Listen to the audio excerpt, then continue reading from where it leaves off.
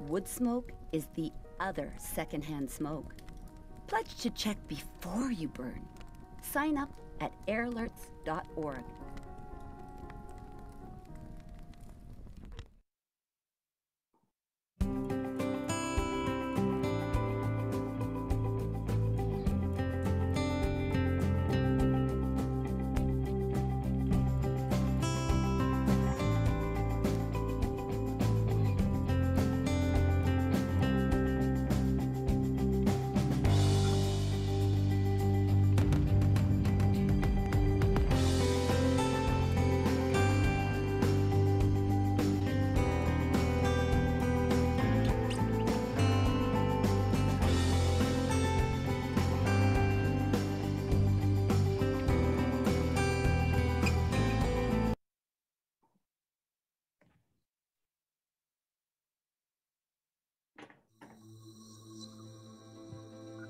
I spent 50 years of my life with a heavyweight champion of the world.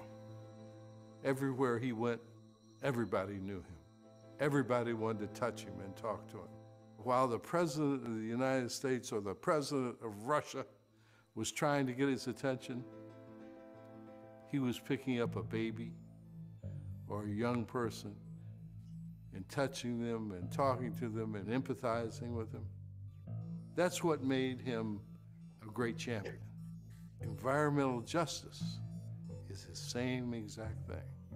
You have to take care of the people who don't have the power to take care of themselves. You have to represent them in halls that they sometimes are not represented in. Because if you don't do that, you're not really on a life mission that is worthwhile. When we think about health, there are things that we can control and there are things that we cannot control. We can change our diet, we can exercise more. Hey, Paul, you here? But you cannot change the air that you Oh, okay. I, I, was hearing like the Alicia. That's weird. It got so bad that Oh, going from my bed to the bathroom oh, you guys, uh, are a you on? stop trip. That gave me a firsthand experience with what it's like to have asthma or some other respiratory disorder caused by air pollution. I grew up in this area. And so as a small child, I remember when if we were playing, we could not breathe. You would clutch your side, you would try to catch a breath. You know, it's a terrible feeling. I was diagnosed with severe asthma and I've been hospitalized or admitted to the emergency room so many times I've lost count. Todos nosotros en esta familia tenemos problemas de salud, especialmente problemas respiratorios. Todos tenemos asma y es, es muy frustrante para, para mí como madre no poder ayudarle. Tantos vecinos que ya hemos despedido, que han sido impactados por el cáncer. My biggest fear is that I get cancer and I wouldn't be able to see my kids my children's kids. I think a lot of people accept it as one of the grim realities of living in Los Angeles. I've had a husband die of pulmonary fibrosis, and that's a very personal experience with the difficulty to breathe. When you can't breathe, when you're having trouble breathing, everything else becomes secondary. All you can think about is breathing. At one of our meetings in the community, an elderly woman stepped to the microphone and she just read 40 names.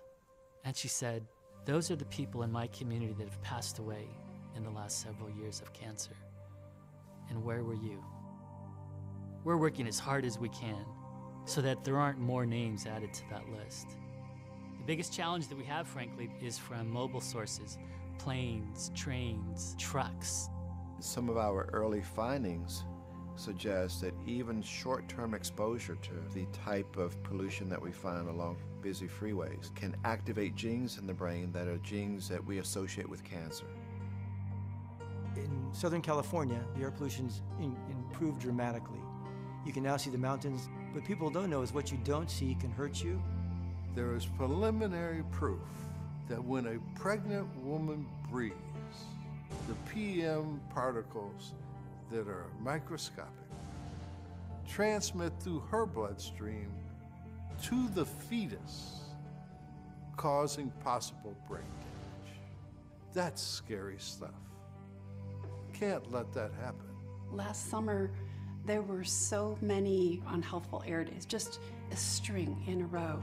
I was staying at home trying to protect my airways, and I still got really sick, and I ended up hospitalized for three days.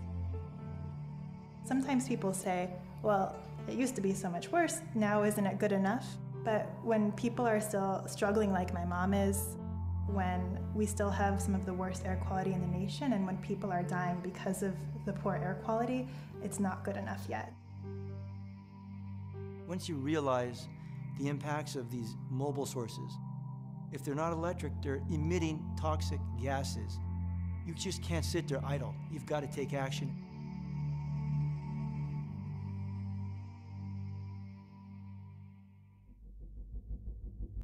My husband and my two kids, they're four and six, we moved to Torrance about five years ago. About a year after we moved to our house here, a nearby refinery was having a lot of flaring events. And I started to notice that there was this black dust on my car and on the windowsill, and I was just puzzled by it. I kind of started paying more attention and realizing that the dust was coming at the same time of the flaring, and the kids were coughing more often. And when they would get sick, we'd have to have inhalers prescribed to us. My kids were actually at the park at 8:30 in the morning, and all of a sudden, um, we just started seeing this kind of ash rain down. And the kids said it was snowing. So we came home and we found out that the refinery had exploded and that it was actually industrial ash um, raining down on us from a mile away. There's a number of people now who say, What are you doing? The air's okay, but it's not fine for everybody. You would never see a freeway go through a very wealthy area, but the freeways are situated in the low income areas. We have kids that live literally steps from a 12 lane highway. I believe clean air is a right, it's not a privilege. We took a tour to Beverly Hills and we're like, oh wow, like where are the freeways, where are the factories, you know, because that was a norm to us and that shouldn't be the norm to us. It shouldn't matter where we come from, we should have the same benefits as someone in a different community. We shouldn't have to choose between jobs and our environment. I know that the economy has got to be considered. And I know that you got to put people before economy. So it's uh, just a horrific balancing act. And we're continually trying to work on that.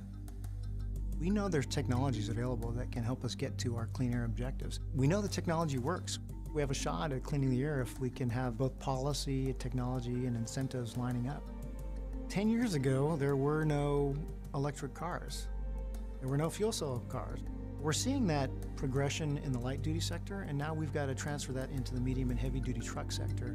We need to work all together and be united in saying that clean air is something we really value and want to work together to change.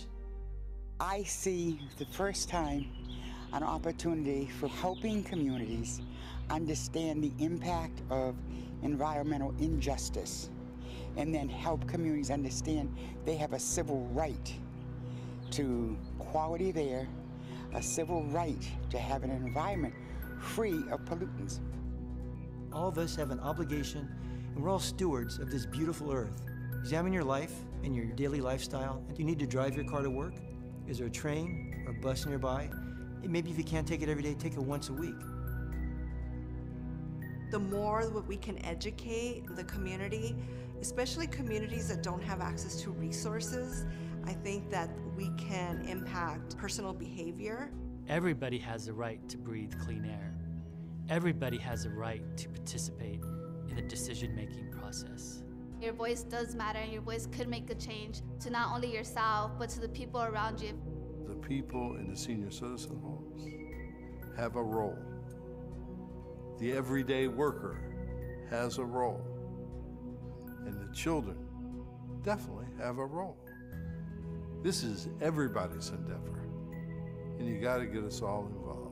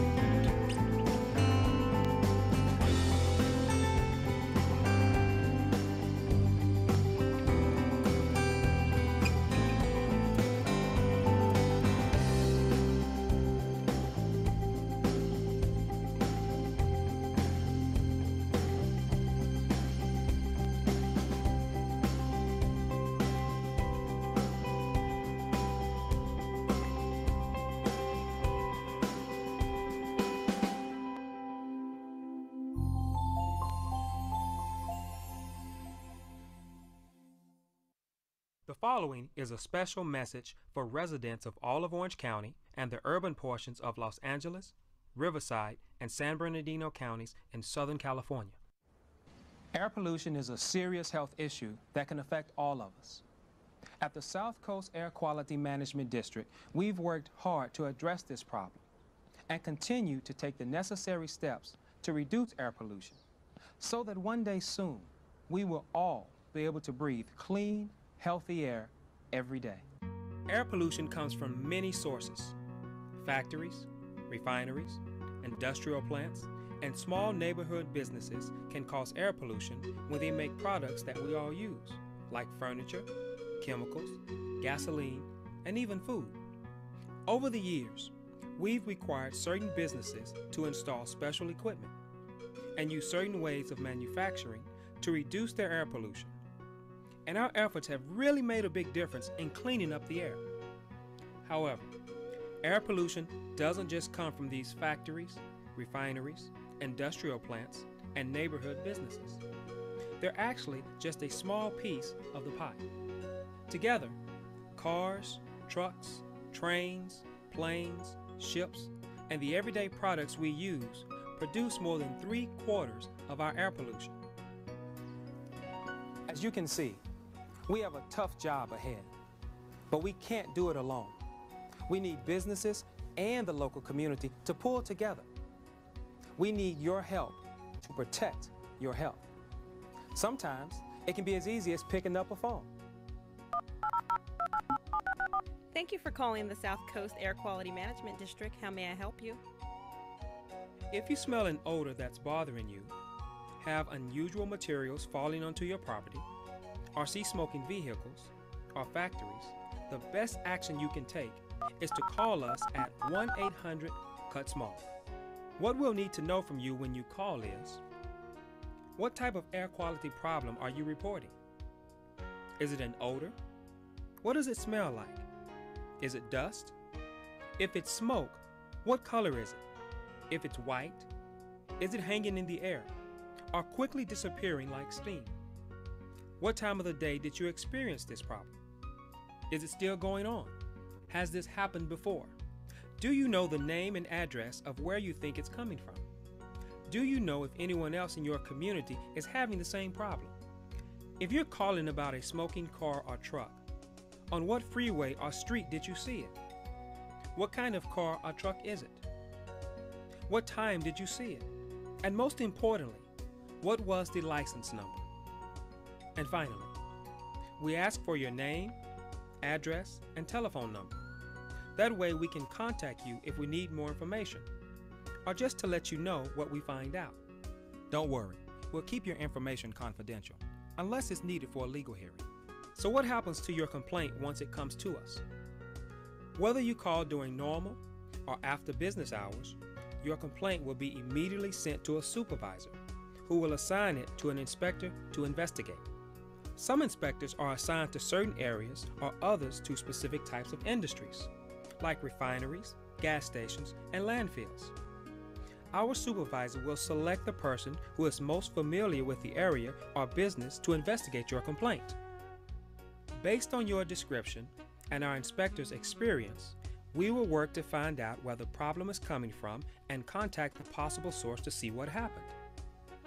If the problem is ongoing, we may take odor or dust samples to our laboratory to help solve the case.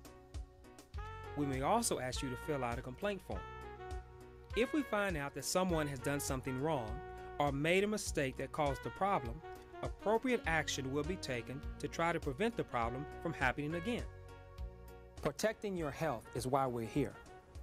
Our scientists, engineers, inspectors, and many other specialists are dedicated to achieving clean air for this great place we call home. But we can't do it alone.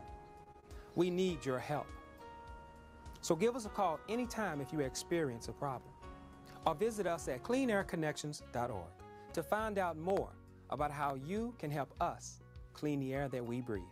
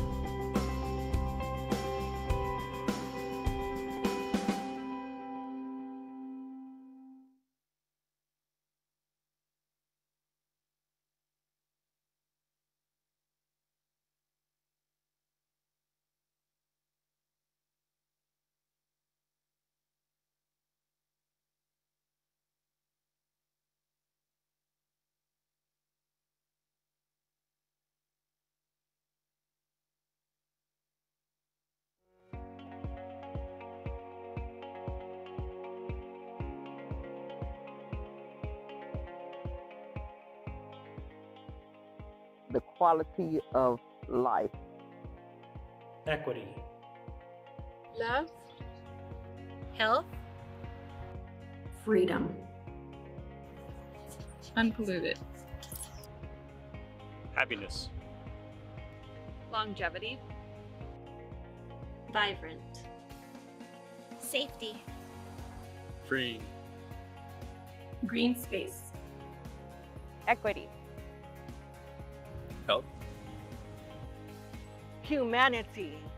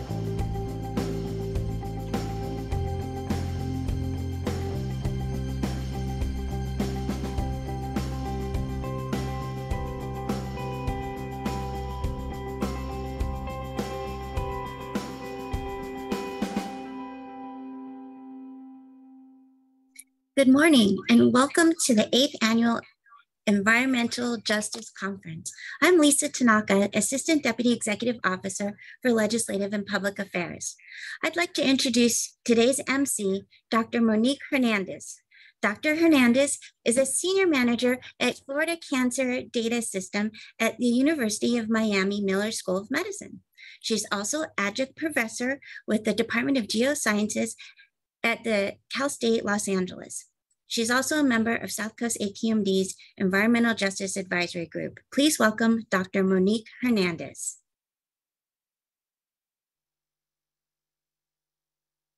Good morning.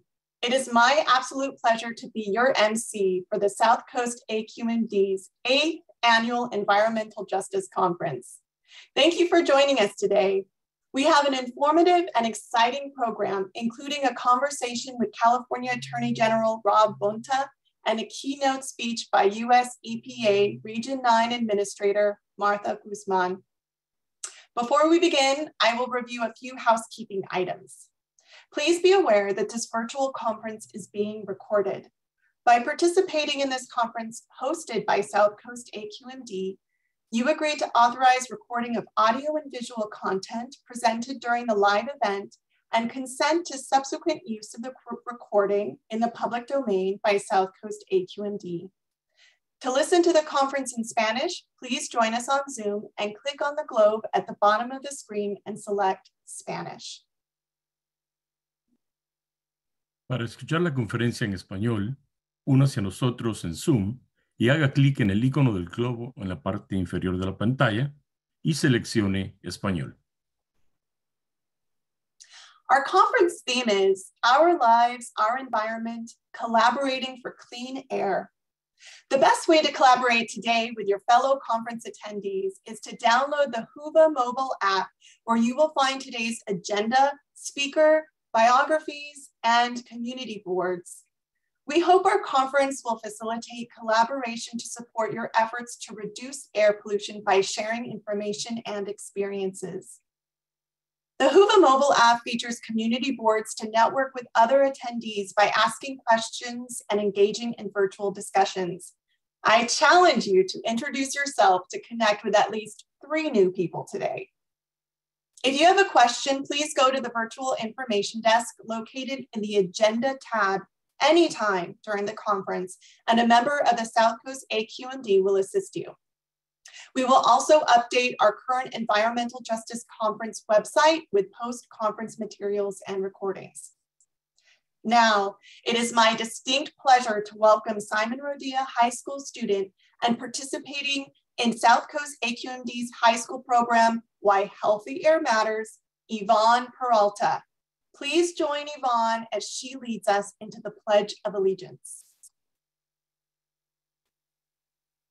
I pledge allegiance to the flag of the United States of America and to the republic for which it stands, one nation, under God, indivisible, with liberty and justice for all.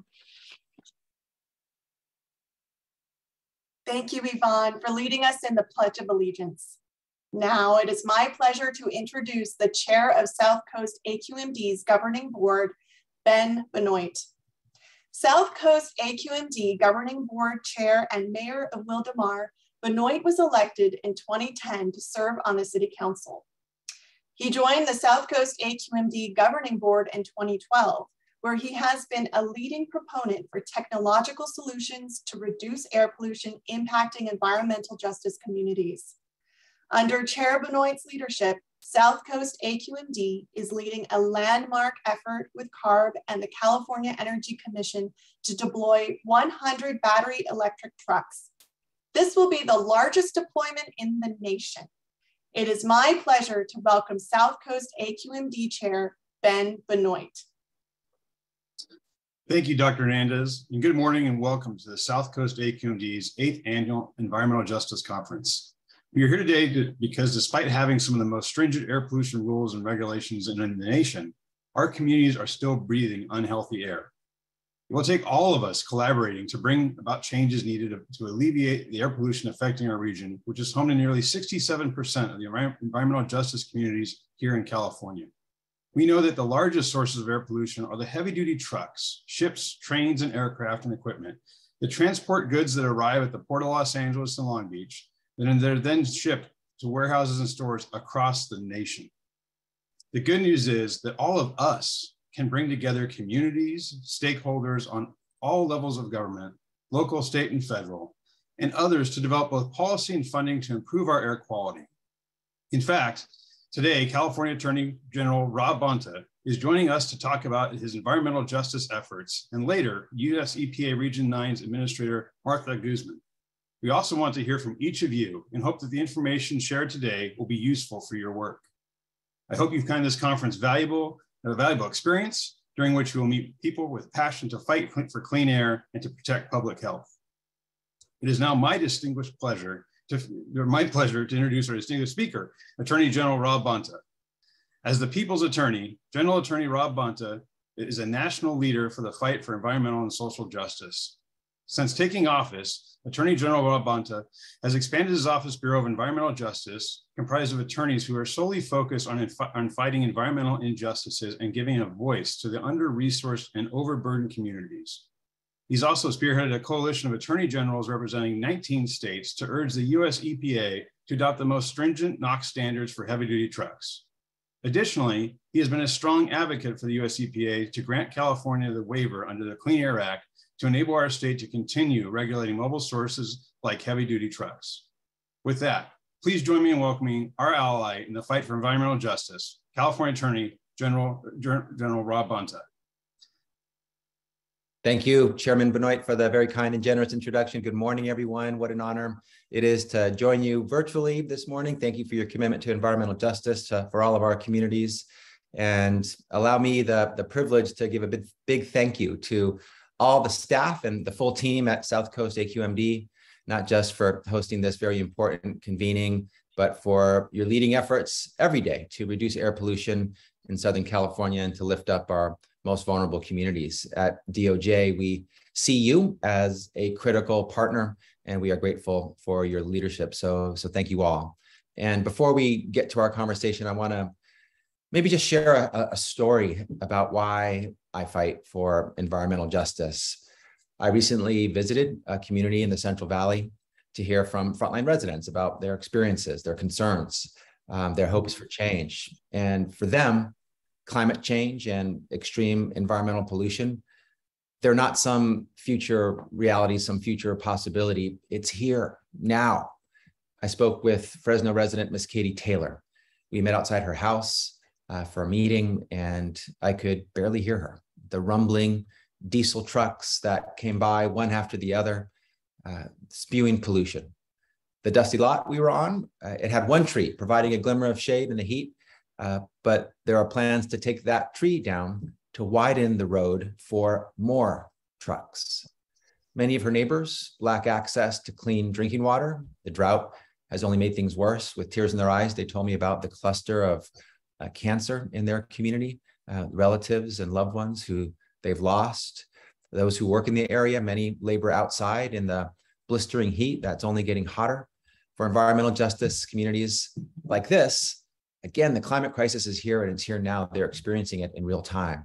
And whether it's a more rural community like Fresno or an urban community like East Los Angeles, low income communities and communities of color are feeling the impact of the climate crisis today. So we must fight for climate action, of course, but we must also fight for environmental justice. They are inextricably intertwined, they go hand in hand, they must always go together um, to ensure that communities living at the junction of poverty and pollution, like Miss Katie's that I just talked about, are protected. And that's why we expanded the Bureau of Environmental Justice to fight for our most vulnerable communities, to make sure they knew that their AG was by their side. And our um, largest state Department of Justice in the nation here in California would fight for them and with them and stand near them and by them. We fought to undo some of the Trump administration's most outrageous environmental attacks and fossil fuel giveaways. We filed numerous lawsuits to protect the health of our communities. We called on Congress to pass an array of critical environmental justice and climate change related legislation.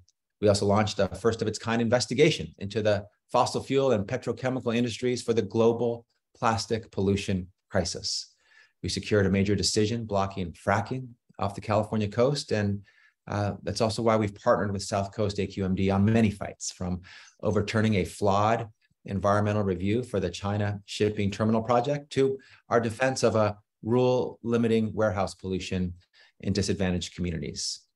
This moment demands that government agencies like ours step up, that organizers and activists, businesses and innovators rise up and rise up together.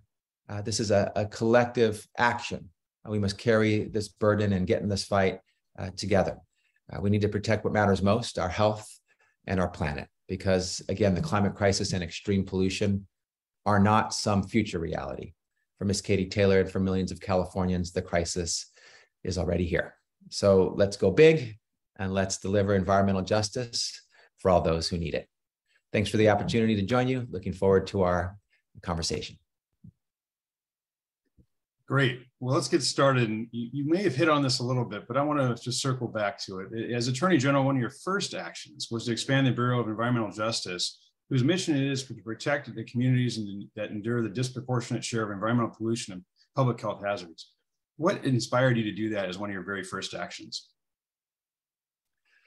To me, so, so important that uh, the equity lens always be part of our climate action work. And as we uh, seek to save the planet for the next generation and be the most responsible environmental stewards we can be, we must always be thinking uh, about those who are hit first and worst, who are um, overburdened and under resourced. And uh, that's why we expanded the Environmental Justice Bureau. Uh, again, those, those communities that are seeing the impacts of climate change right here, right now, and only are going to see it get worse.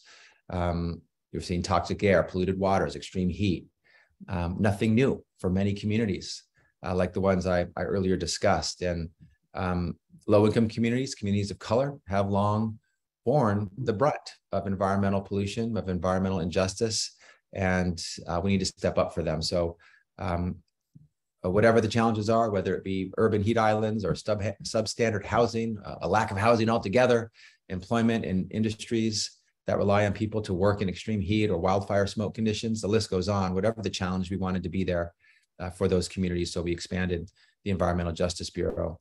And uh, that, of course, that decision was fueled by my, my, priorities, my, my values, the values of opportunity, equity, justice, and inclusion for all Californians.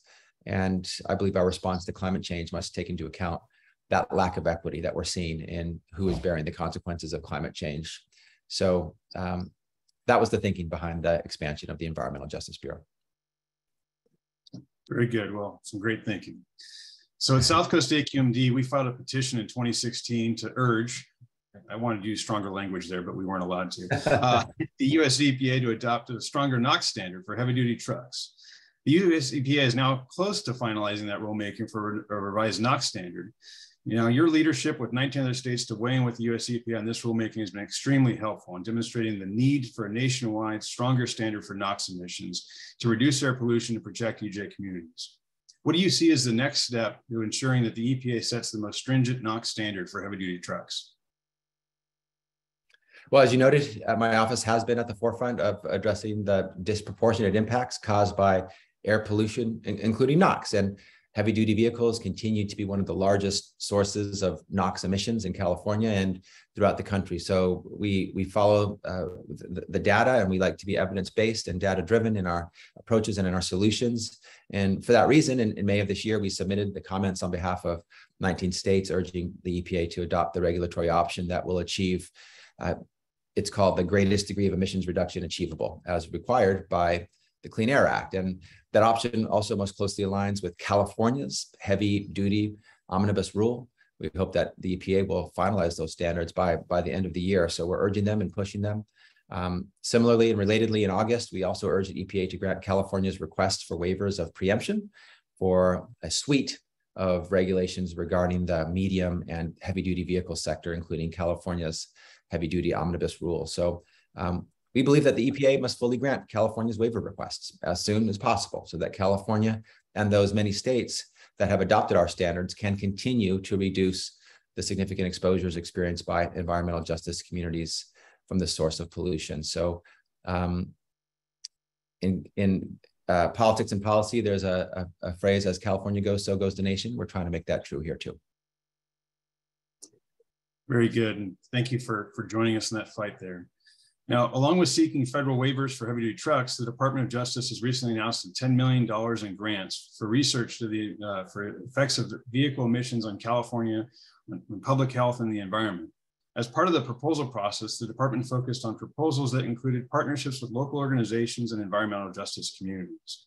Please share with us your thoughts on why it's critical for this research project to engage with local communities to ensure successful results. You know, in, in short, the, the, the people in the communities that are closest to the problem are also closest to the solution. And we wanted to engage with them and hear from them and co-create solutions uh, with the impacted communities uh, to see how we can be the best partner and, and the best advocate and the best champion uh, for those communities and, and, their needs. And as the people's attorney, um, I'm committed to using every tool we have in our toolbox to uh, provide assistance uh, to and elevate the voices of those communities that, again, are hit first and worst by environmental pollution. So, in selecting the recipients of the Automobile Emissions Research and Technology Fund grants, uh, which, by the way, stem from a 2016 settlement with Volkswagen, uh, over its emission cheating scandal. Uh, last year, we, we focused on proposals that included partnerships uh, with local organizations and environmental justice communities. We believe in partnership. We believe in teamwork, collaboration. We think that uh, there's nothing we can't do when we do it together. And because it, it's critical work uh, for our local communities, um, that they that they have a voice in this work because again they're the ones hit first and worst uh, they're closest to the solution so the seven recipients uh, were selected um, are engaging in uh, a, diver a, diverse array of projects to study and mitigate the environmental and health impacts of vehicle emissions in communities all across the state, especially EJ communities. And just want to um, shine a spotlight on, on a couple of quick examples, which sort of demonstrate what can be done when we work in this way, uh, inviting um, uh, the leadership of and raising the voices of impacted communities. One grantee is working on a project to address the emissions and air quality impacts of goods movement in environmental justice communities within Southern California's Inland Empire. And uh, you know, I was recently reminded during my trip to Fresno why a project like this is so vital. A, a resident uh, in the impacted community um, said said this. They said there's a cost to all this goods movement. Someone has to pay for it and we're paying for it with our health and our lives. And um, that stuck with me. Voices like that, like this, need to be part of the conversation, part of the work, mitigating pollution linked to the movement of goods. Uh, because again, they're the ones who are impacted. And just another quick example, one another grantee is studying the toxicity, incidence, and potential health effects of non-tailpipe vehicle pollutants, such as particulate emissions from tires and brakes an important area that demands more research. And again, it's the families that live along highways, near tire shops, and brake manufacturers that are that are impacted, and their voice needs to be heard, be part of the solution, be part of the research. So, in total, uh, thanks to these grants, seven projects across California are studying and implementing meaningful solutions and realities of the climate crisis, with a particular emphasis on environmental justice. So, we're we're, we're pleased uh, to be part of that work. We're uh, grateful for um, the solutions that will be driven because of the participation of impacted communities and um, always looking to, for opportunities to raise the voices of our communities who are impacted so they can be included and they can be heard. Well, that sounds like great work. I'll, I'll, share a quick story that when I first came to the air district, I got a tour of our lab. And I remember even 10 years ago, we were doing studies on what was coming off as far as brake, uh, brake dust particles and tire particles and, and glass sheets uh, laid out near and further and further away from the freeway. And I was very impressed with, or very disturbed more or less with how far away that uh, material got from the freeways and how many, how many community members are, are indeed impacted by that. So I know I'll be looking to see what that health effect study shows um, as that comes forward on that. So thank you for funding. them. So uh, what, what advice can you share with our audience on continuing to advocate for clean air in their communities? What can they do better? Uh, I'll say this, the, the state and, and the nation need you.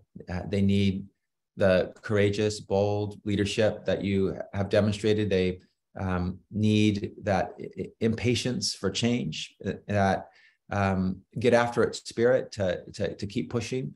Yeah, do what you know is right. To, we need to push here. We need to bring others along with us. We need to be aggressive in this space. There's, um, you, you can't be overly aggressive in this space when you're fighting for the survival of our planet and, and equity as we do so. So keep at it. Your persistence will will pay off. The the the road to change is not always linear. There's um, starts and stops. There's setbacks.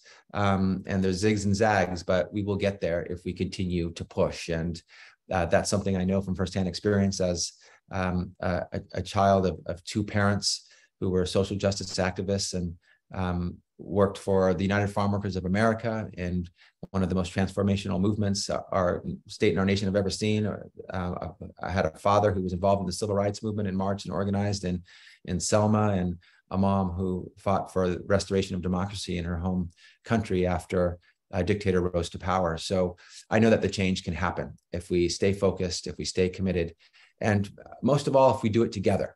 Um, again, there is nothing that we can't do if we do it together. We're, we need to be focused more on the, the us and the we instead of the I and and the me, and realize that there's there's no us and them. There's only us. Uh, one big, um, beautifully diverse collective us uh, that will um, succeed if we fight together. And it demands um, government agencies like ours step up, organizers and activists, businesses and innovators rise up, rise up together uh, again, to protect what matters most, our health and our planet. So your work's important, it is needed, and um, together we can be successful. As a child, just to end with a quick story, I listened to Dolores Huerta in uh, La Paz, uh, the headquarters of the UFW movement, uh, where my parents raised me.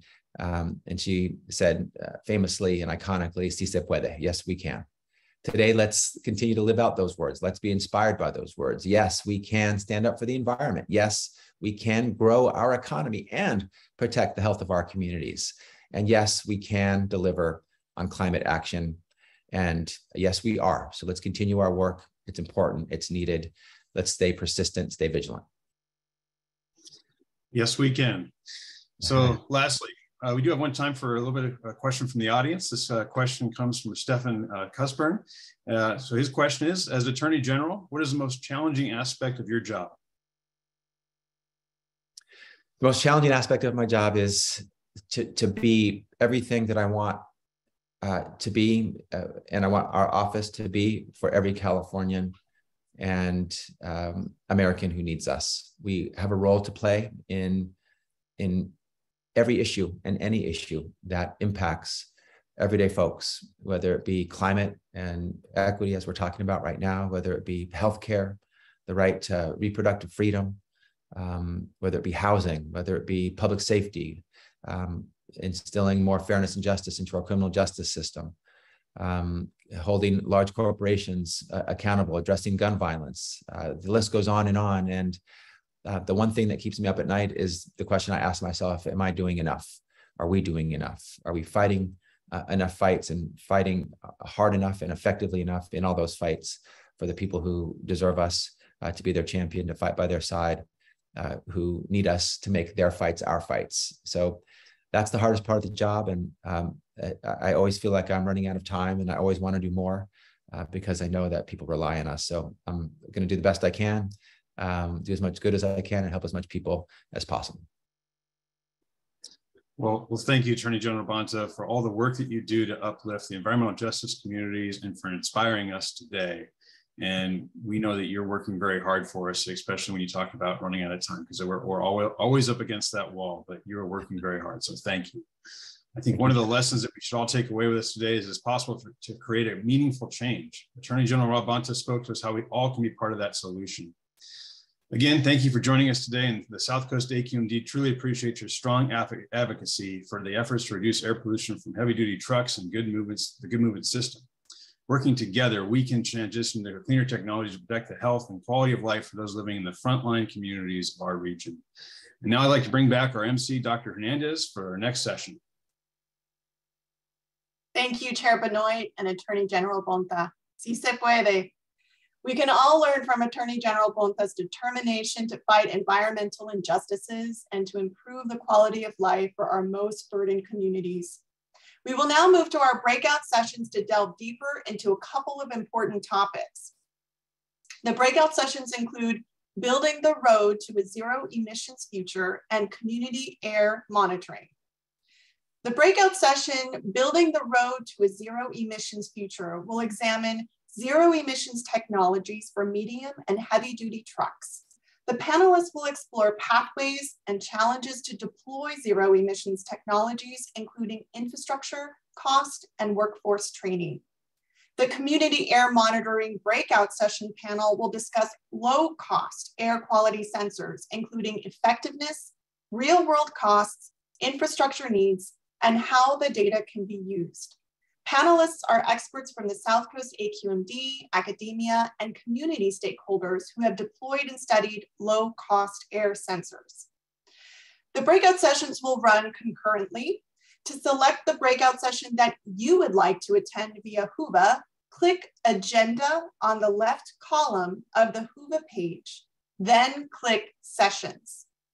You will then be able to scroll through today's program selecting the breakout session you would like to attend. These sessions are being recorded and can also be viewed live on South Coast AQMD's YouTube channel and Facebook page.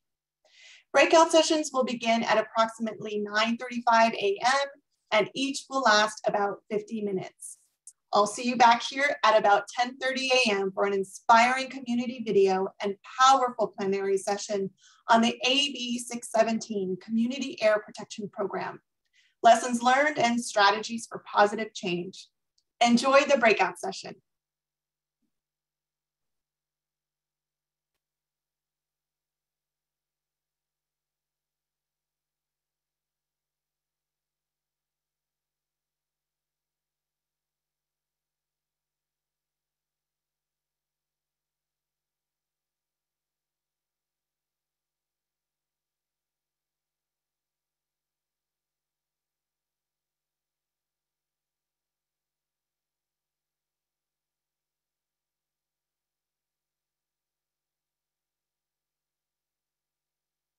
Right. Good morning, everybody. Can everybody hear me right now?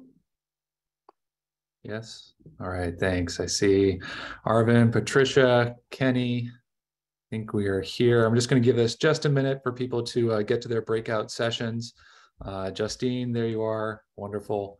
Uh, make sure that we're all where we are supposed to be right now. I think we have a very good panel coming up. Very excited for this. Uh, Kenny, there you are. Great. Uh, yeah, so I, think I was kind of wondering where I needed to be. Sorry about that. I think we're all here. It's it's always kind of interesting on these Zoom sessions, but I think I think we all have it. So we're going to go ahead and I think we'll get started right now. Uh, so good morning, everybody. Uh, my name is Ian MacMillan, uh, and I'll be your moderator for this breakout session today. Uh, this one is the Building the Road to a Zero Emissions Future. Uh, very exciting session. I'm, I'm actually really excited to be a part of this today. I'm the Assistant Deputy Executive Officer of our Planning, Rule Development, and Implementation Division here at South Coast AQMD. Uh, I'm responsible for overseeing the development of our air quality management plan, emissions reporting, AB 2588 air toxic hotspots program, uh, but I also spend a lot of my time working on our mobile source rules, uh, both the rule development and then also the implementation of it. So it's a very exciting topic that uh, we're here today uh, to talk about. Uh, I'm really honored to be joined today uh, by really this uh, very esteemed group of professionals.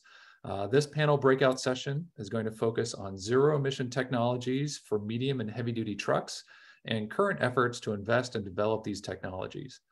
I'm hoping by the end of this session, uh, we can all come away with a better understanding of the different pathways and current challenges we're facing in deploying these zero emission technologies and how our communities can get involved to help in the transition to a zero emissions future. Uh, we're learning a lot of lessons along the way. What we're going to hear about right now are some of these early lessons, but we know that there's going to be more we're going to uh, have to learn along the way. So this is a, a very timely topic.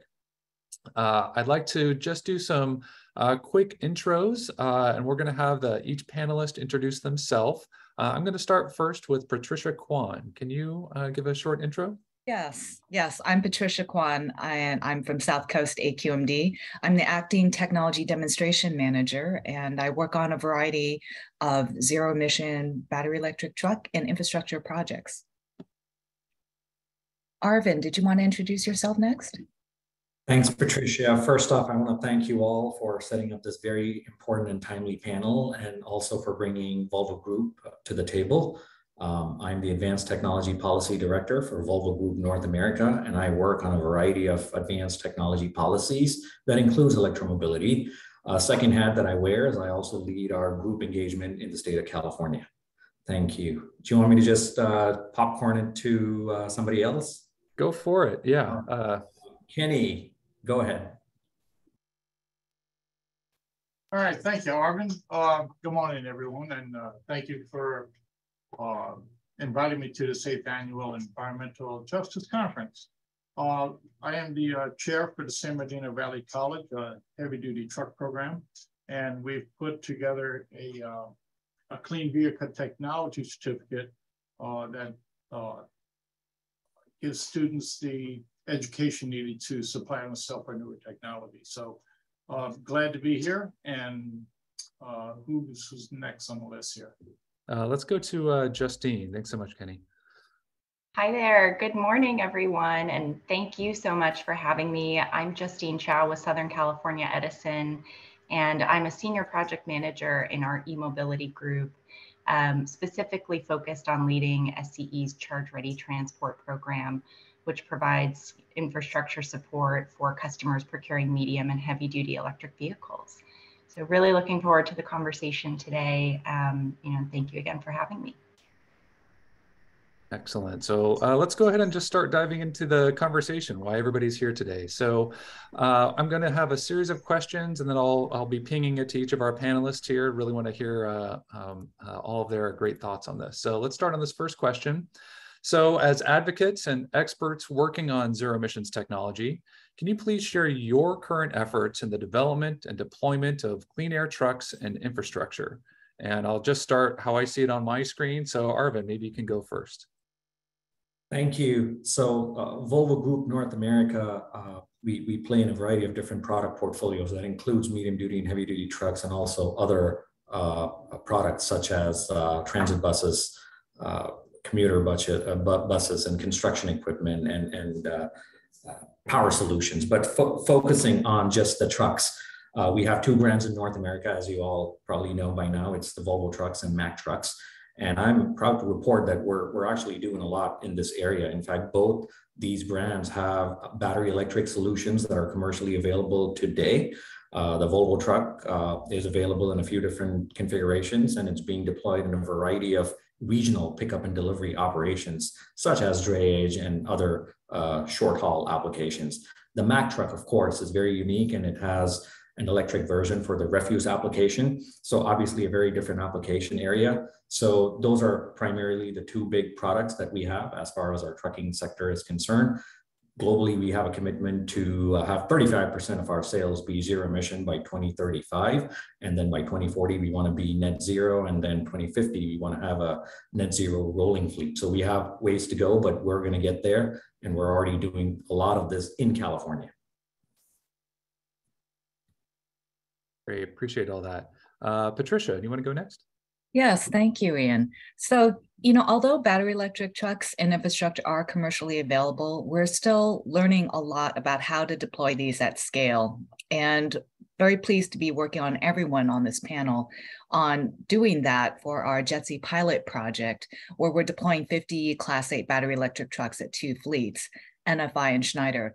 And I think that's going to really give us some additional lessons learned on how to you know because when you do things at a larger scale it kind of in a way enhances all the amplifies all the issues. And we've also discovered that by working early and often with our utility partners such as edison that it has really helped enormously in the planning process before you actually even start construction. I think that is something that we've learned from our previous projects, Volvo Lights and the GGRF Zero Emission Drayage Truck Project and others, is, is the importance of working closely with our OEMs, with our EVSE suppliers, and with our utility partners. Great, really appreciate that. And uh, I'll just uh, ask all of our panelists, I know we are all deep in the weeds on all of these topics all the time. As we're using acronyms, might be good to uh, just explain what it is that all the acronyms are, because we know all these projects, we know all these terms, but making sure that everybody is on board with uh, everything we're talking about, because it's really, really exciting stuff. Uh, I think one of the nice thing is once you get an acronym, it means that there's a program that's moving and developing and somebody's thought of that there's an acronym. Uh, so it's good to know this progress is being made, but let's just uh, try to try to remember that as we go forward. So thanks for all that. Uh, I see next on my screen, uh, Justine, do you want to uh, take this one next? Great. Yeah, thank you, Ian. Um, you know, at Southern California Edison, we really recognize that, that the transportation industry has a vital role to play in helping the state achieve its goal of carbon neutrality by 2045. Um, Edison's Pathway 2045 white paper suggests and estimates that, you know, to achieve that goal by 2045, three quarters of passenger duty cars, two thirds of medium duty vehicles, and really one third of heavy duty vehicles need to be electric. Um, and so, you know, there's a lot of work to do. And, and to Patricia's comments, we're thrilled to be working with so many partners across the industry, um, you know, to enable that transition. Um, and to support that work, SCE is really focused on addressing issues that pertain to the availability, the affordability, the awareness, and the accessibility of EV charging infrastructure. Um, you know, and we've launched EV infrastructure programs and services that are really aiming to address some of the key cost and complexity barriers that are associated with charging infrastructure installation. Um, an example is the program that I lead, Charge Ready Transport, or CRT as we call it for short, um, which does provide you know, make-ready infrastructure to qualifying customers that are procuring at least two medium or heavy-duty electric vehicles. Um, it's a five-year program that launched in 2019, and it's really seeking to support uh, the adoption of nearly 8,500 medium and heavy-duty electric vehicles. So, um, you know, that'll be really exciting. We're we're seeing some good momentum starting to really pick up uh, beginning at the end of last year and all throughout this year. Um, we also offer Transportation Electrification Advisory Services, or TEAS, another acronym there. Um, but that's for customers who really want to electrify, but who may need additional education or assistance. Um, and so through that program, we're providing studies, you know, access to webinars and workshops, and also grant writing assistance. Um, you know, and then outside of programs, our local planning teams are also working to support requests for new service to support EV charging infrastructure for our fleet customers. Um, you know, I think the other piece of the equation that I'd be remiss not to mention, and we can certainly get into this, um, you know, during the panel, but there's a lot of important work that we're also doing to plan the grid for large scale electrification in support of emissions reductions and our clean energy future to help the state achieve those goals. So I'll stop there, but. Great. No, I appreciate that. I, I hear from all of the speakers so far, uh, teeing up a lot of a lot of things to talk about, thinking about scale, et cetera. Uh, but really want to also hear Kenny as uh, uh, I think the last one on my list here on this question. Let's let's hear your thoughts on this. Um, we're talking about question one, right? Yeah, so I'll go ahead and repeat it just for uh, those following along yes. as well. So as you're one of the experts in this field working on zero emissions technology. So, you know, hearing your uh, efforts, current efforts in developing and deploying clean air trucks and infrastructure. Okay, well, uh, when we first started with the uh, Volvo Lights program, of course, which included AQMD, um, it was a um, lot of stepping stones or building projects to get students up to speed to uh, fill the community with what's needed with these zero emissions vehicles. Uh, we do we did put a uh, program together uh, to uh, educate the students in the zero emissions vehicles, uh, which would also give them a guided pathway to ensure that they have the technology needed to work out in the industry. we we could not have done it without AQMD and the Volvo Lights project to support us in that cause.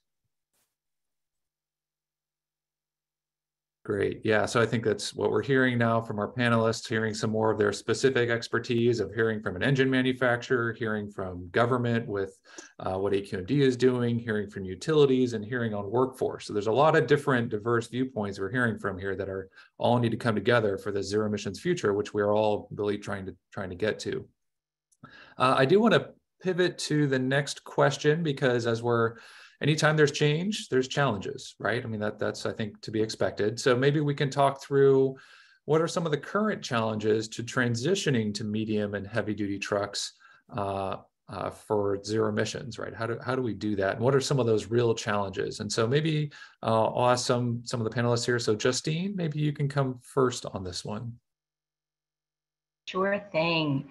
Um, you know, I think in this space, we've certainly made progress with vehicle availability, and we need to continue to do so to support the commercialization of zero emission vehicles, particularly in the heavy duty segment.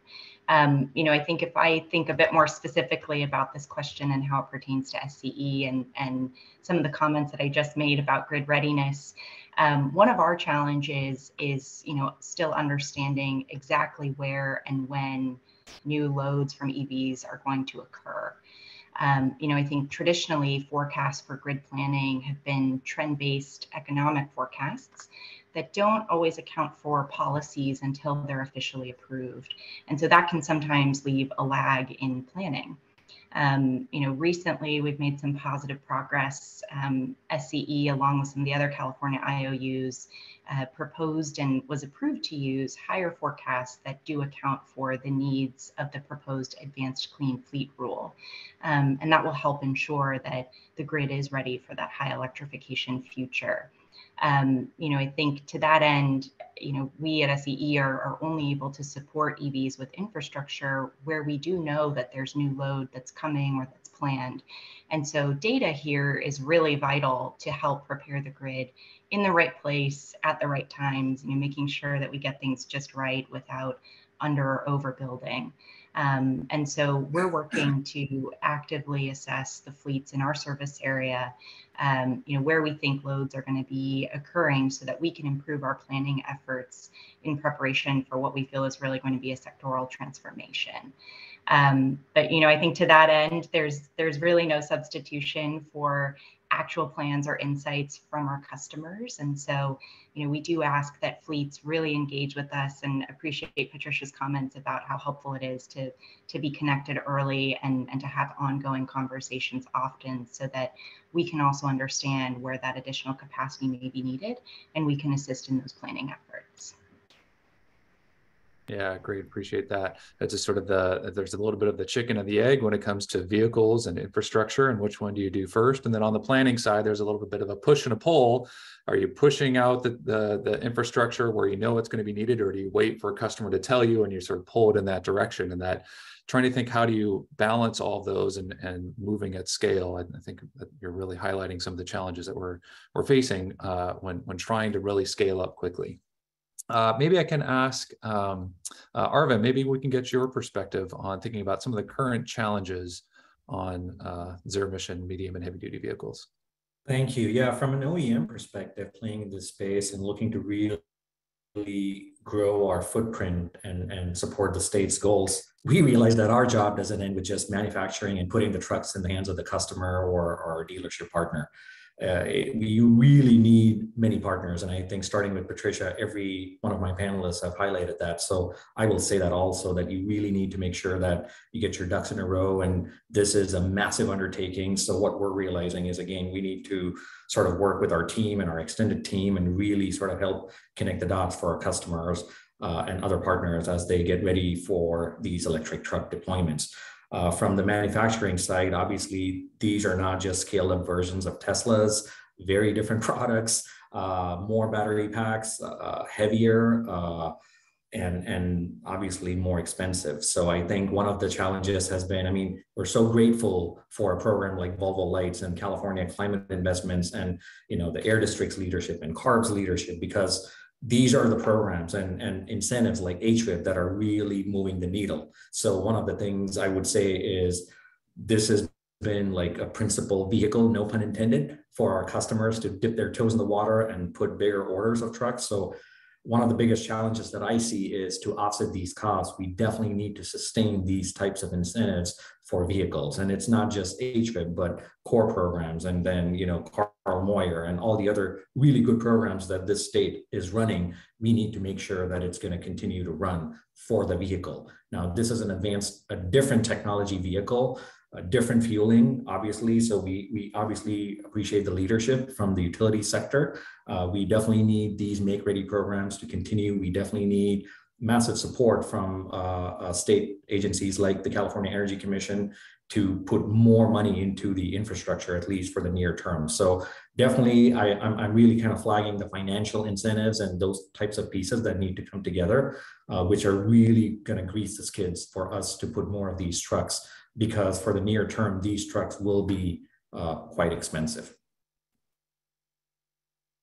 Yeah, no, definitely appreciate that of, of hearing, uh, you know, you're dealing with customers in a different way than uh, what Justine was talking about, and that they have to actually purchase the vehicle, and, and how do they do that? Uh, and you know, they might have a lot of reason they want to go zero emissions, but if it's a very very high sticker price uh, and these early stages with new technology, how do they deal with that, right? And so these government incentive programs uh, are really key to kind of bring that market to bear. So yeah, really appreciate you sharing that challenge that uh, that is out there right now. Uh, I want to kind of hear maybe from a different perspective too, or sort of a different viewpoint. Uh, so Kenny, can you highlight some of the challenges that you see uh, when it comes to transitioning to medium and heavy duty vehicles uh, to, to, be zero emissions?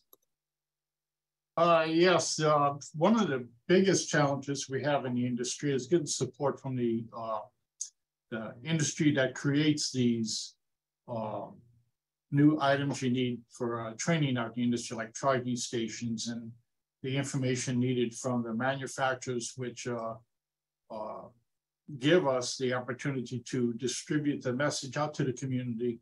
Uh, the businesses that are moving toward buying zero emissions vehicles uh, or electric vehicles, uh, they need to know how to maintain them. They need to know uh, when they need to maintain them, uh, and, and, even the driving skills they need to drive these vehicles has all changed. Uh, we're offering uh, those uh, those uh, classes here at the college to get them up to speed. we're driven by an advisory, and our advisory when we first started talking about zero emissions vehicles was was do we want to do it? Do we not want to do it? Well, as the years moved on, uh, uh, we're getting uh, more input from our advisory, which is leaders like companies like Penske and CR England and Tech Equipment and all, all of the, the, the major uh, companies that uh, have something to do with transportation within the Inland Empire uh, and our surrounding areas. And um, we're, we're, focusing more on the hydrogen fuels and preparing our students uh, to go out uh, and be hired by these companies uh, to uh, work on these vehicles. Uh, what we're seeing as a, another challenge is, is the students are getting the education and completing the courses, but the industry really isn't ready to accept them to work on that portion of the vehicles because most companies are hiring from within uh, their uh, their the, this, the technicians that are working for companies uh, for many years, they know what kind of work they do. So they're uh, moving from within to bring them into the uh, zero emissions vehicle uh, atmosphere. Um, and the students that are completing our courses, of course, don't have the, the hands-on uh, like dealerships or uh, other manufacturers of electric vehicles do. So they, they they're not really bringing them in for that reason. They're bringing our students in because we teach bumper to bumper, we teach brakes, we teach air conditioning, we teach electronics. Uh, we cover CAN communications. A lot of the a lot of the zero emissions vehicles are just a ton of CAN communication. That's computers talking to each other. There's there's no uh, combustion engines driving them any longer. It's uh, one computer talk to the other. We're teaching that type of technology here. So we're arming them with what they need to be uh, valuable in the future. Uh, but, but as of today, uh, they're not really focusing on bringing students in that have taken our classes to, uh, to be safe working on these uh, vehicles. So the next thing, of course, is the cost of the components to teach these classes. Um, the, the cost is very expensive and with the support of the Volvo Lights project and uh, guidance from Arvin and many other people involved, uh, Patricia Kwong's helped us quite a bit with uh, uh, uh purchasing of those components. It's just the tip of the iceberg. It definitely, we need more funding. we're looking for more funding and it, it's kind of just not out there yet to support the educational end of it. Um, but we're looking forward to work with other agencies that would uh, support the cause and, and move toward giving these students a better education. And, and it's, it's, it's a lot more of working safely around these high voltage vehicles than it is uh, knowing how to do brake jobs. We, we teach that, but uh, electric trucks, brakes are changing. They need to know that new technology. And uh, that's what we have to offer here at the college. But and the challenge is getting training components to do that with. Great. Yeah, I appreciate that. That's it's interesting hearing from everybody. There's uh, sort of some themes that are coming up here. One is cost, and that comes in a different forms on the cost of, of, of putting these programs in place but then it's timing and sequencing. And how do we get the right actions occurring at the right time? As we're making a rapid change you can get a little ahead of yourself maybe on one step and then the other step lags behind and that's going to be the controlling factor on this. And it's different for each of you. And so that's really interesting to hear all these perspectives. Uh, really appreciate all the honest answers here. We can keep talking about challenges uh, certainly but let's let's keep moving on on, on this conversation uh, so the, our next question is focusing on building effective partnerships in the fight for clean air. Uh, how can government agencies, uh, such as ourselves and many others, uh, how can government agencies work with private companies and local community organizations to help expedite the transition to zero emission technology? Uh, and so for this question, I'd actually like to start with government. So Patricia, maybe you can take this one first. Thank you. So with Volvo Lights, that has, I think, been a really great example of the importance of public-private partnerships. Arvin is nodding in agreement. And we, during that time, you know, we think about that project, it took place during a pandemic, and yet that did result in the certification, a commercialization of a class eight battery electric truck by a major OEM. And so you can still get a lot done, e even in very challenging times.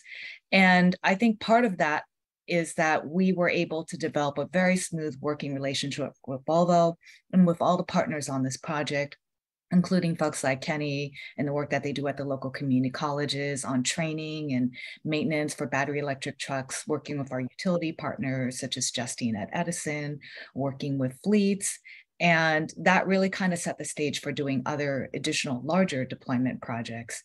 And I'm going to just leave it at there. I could talk a lot more about the importance of public-private partnerships, but I think Arvin has something to say. Yeah, go ahead, Arvin. Well, I mean, I, I second everything. And I, you know, again, just pouring oil on AQMD's feet, right? I mean, it's just incredible how we and and we being not just Volvo Group, but all the other private entities that were part of Volvo Lights came together there was so much trust and uh, learning how to work together and not just deploying the vehicles, you know, commercial deploying a commercial product or commercialization of the electric truck, but we worked together to change some fundamental policies in the utility space, in the infrastructure space, to get things moving. And we did that together as a team. We tackled workforce development as a team. We we uh, educated the, the broader community about the benefits and the realities associated with the deployment of zero emission trucks, the transition, working with our fleet partners, with uh, a community based organization and community colleges. So it was an incredible effort, and that was only possible because the government agency took this leap of faith. And again, you know, kudos to CARB, kudos to California Climate Investments for investing, making this investment. As a suggestion, one of the things that I would uh, urge the government agencies to do, and it's happening, but we need to do more of that, is for the government entities to come and talk to the fleets, the end operator, and see how these investments are resulting in real world products. We bring in other thought leaders, such as our friends from the NGO communities, because just because you do a Volvo Lights doesn't mean it's done. Uh, it is a start, it is a template, it takes time. We know, you know, the blood and uh, uh, the blood and sweat that was put into this, but it is still not a done deal. So I think that's one of my very polite requests uh, as, as something we could do together, you know, in, in, responding to your question, which is the government sector needs to engage more uh, private companies and, and give them the opportunity. And it's happening already, again, don't get me wrong, but really give them the opportunity to bring them to their sites where these deployments are happening. They need to take time and come visit and learn about the pain points and how we can, as a community, you know, private and public sectors, come together to resolve this because the future deployment shouldn't take this long. Yeah, no, that's really appreciate that and, and understand that perspective of, uh, you know, we've done one, or in the case of Volvo Lights, that's one project. It's a very big project, but it, it's one project and that's you know that has one look and feel to it but you go to a different fleet and they might have a different perspective. And as an oem you're trying to think of all the many many many customers you have and similar in government we're trying to think of broadly how does this scale. Um, i think it's also on that point to be interesting to hear uh, justine your perspective too because you're trying to think about at scale and, and how to deal with you know all the customers that you have. Uh, you know what are your what are some ways that you think that partnerships you know, with government, private companies, community organizations? What, what's some of your perspective on that? Yeah, I think that this is a great question, you know, just given the complexity of these larger, medium, and heavy duty infrastructure projects. There's a lot of work for all of us to be doing together. And I think there's a number of ways in which we can all collaborate. Um, you know, I think I mentioned earlier that we're working to continue to assess fleets in our service area, but ongoing opportunities to kind of echo the comments of my colleagues about working together with private companies and local community organizations and, and local government partners to share data on fleet deployments with the utilities with us at SCE um, can really help us, you know, reduce some of those uncertainties in planning and ensure from the grid perspective as well that we're prepared to support those loads as they're materializing. Um, you know, I think if I look also more specifically at infrastructure projects and, and just some tactical things, um, you know, we realize that there's a lot of good work underway today for many of our local government partners to streamline their permitting processes. And, you know, we certainly support those efforts, um, you know, to get the necessary infrastructure in place more expeditiously, um, you know, in order to hasten that transition to zero emissions vehicles and help our customers and our communities that are operating um, you know, these these trucks and buses and, and those that are living in those communities benefit from the reduced air pollution and, and you know, the, the benefits that come with zero emission vehicles. So, um, you know, kind of wanted to add those those perspectives. I think there's been a lot of really good good information shared by my fellow panelists already. So. No, I definitely appreciate that. You mentioned the streamlining as well. We know that there's uh, some efforts underway on, on that of trying to share lessons learned. You know, as we're doing these early projects, I know, for example, the uh, GoBiz, the state governor's uh, uh, business development office, that they have uh, some streamlining that they're trying to uh, pursue across the state. You know, how do you take the lessons learned from one uh, jurisdiction, maybe a city or county, and you know apply that elsewhere. But then also, you know, we have one utility here, and SCE is certainly a very large utility, the biggest one in our jurisdiction. But there's a lot of other utilities as well. And how can we take the lessons learned from each of the utilities? What are the best practices? And there's still, I think, a lot of development happening there. And so I think it's an exciting time to think about what's happening, what's going to be happening in the future. We're getting these first stages. What's happening in the future? I'm going to use that to just pivot right into this next question. Uh, and maybe we can start talking about what are some upcoming and promising projects in the development and the deployment of zero emission trucks. And actually, this time I'd like to start with Kenny. I'd like to hear your perspective. You're working a lot with students and sort of the future, and you know, people are, are trying to invest in their lives, invest in their careers. Uh, and what are you seeing are some really promising developments coming here? Um, make sure. Okay. Uh, the uh, the upcoming programs we have are with moving toward the uh, hydrogen fuels, uh, which are uh, helping with the zero emissions vehicles uh, and the electric vehicles, are um, are good for the students to get the education they need to support themselves. The hydrogen fuels and charging stations that we're starting uh, as projects over here and expanding our uh, training infrastructure.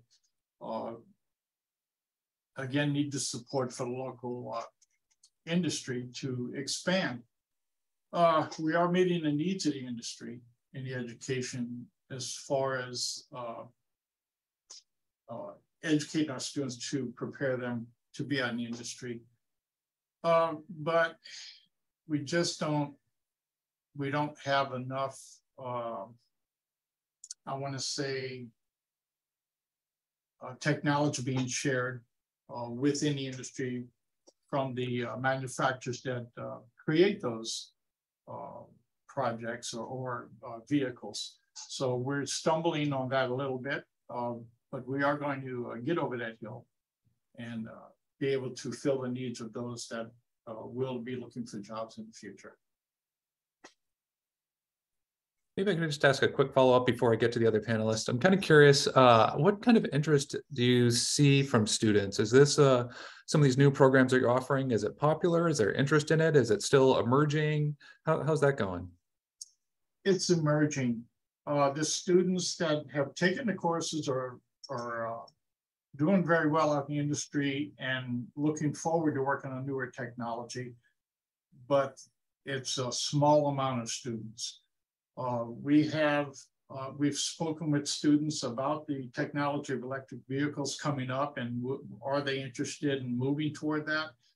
And I think it's kind of like uh, years ago when the computers first came out, we were actually scared to hit the keyboard, you know, uh, figuring we'd delete something or destroy something.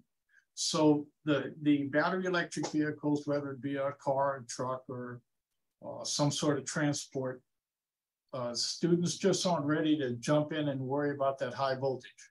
You know, uh, the I've talked with our students actually at the beginning of the semester, and three quarters of the class didn't even know about it. Didn't even know we had the training for battery electric vehicle.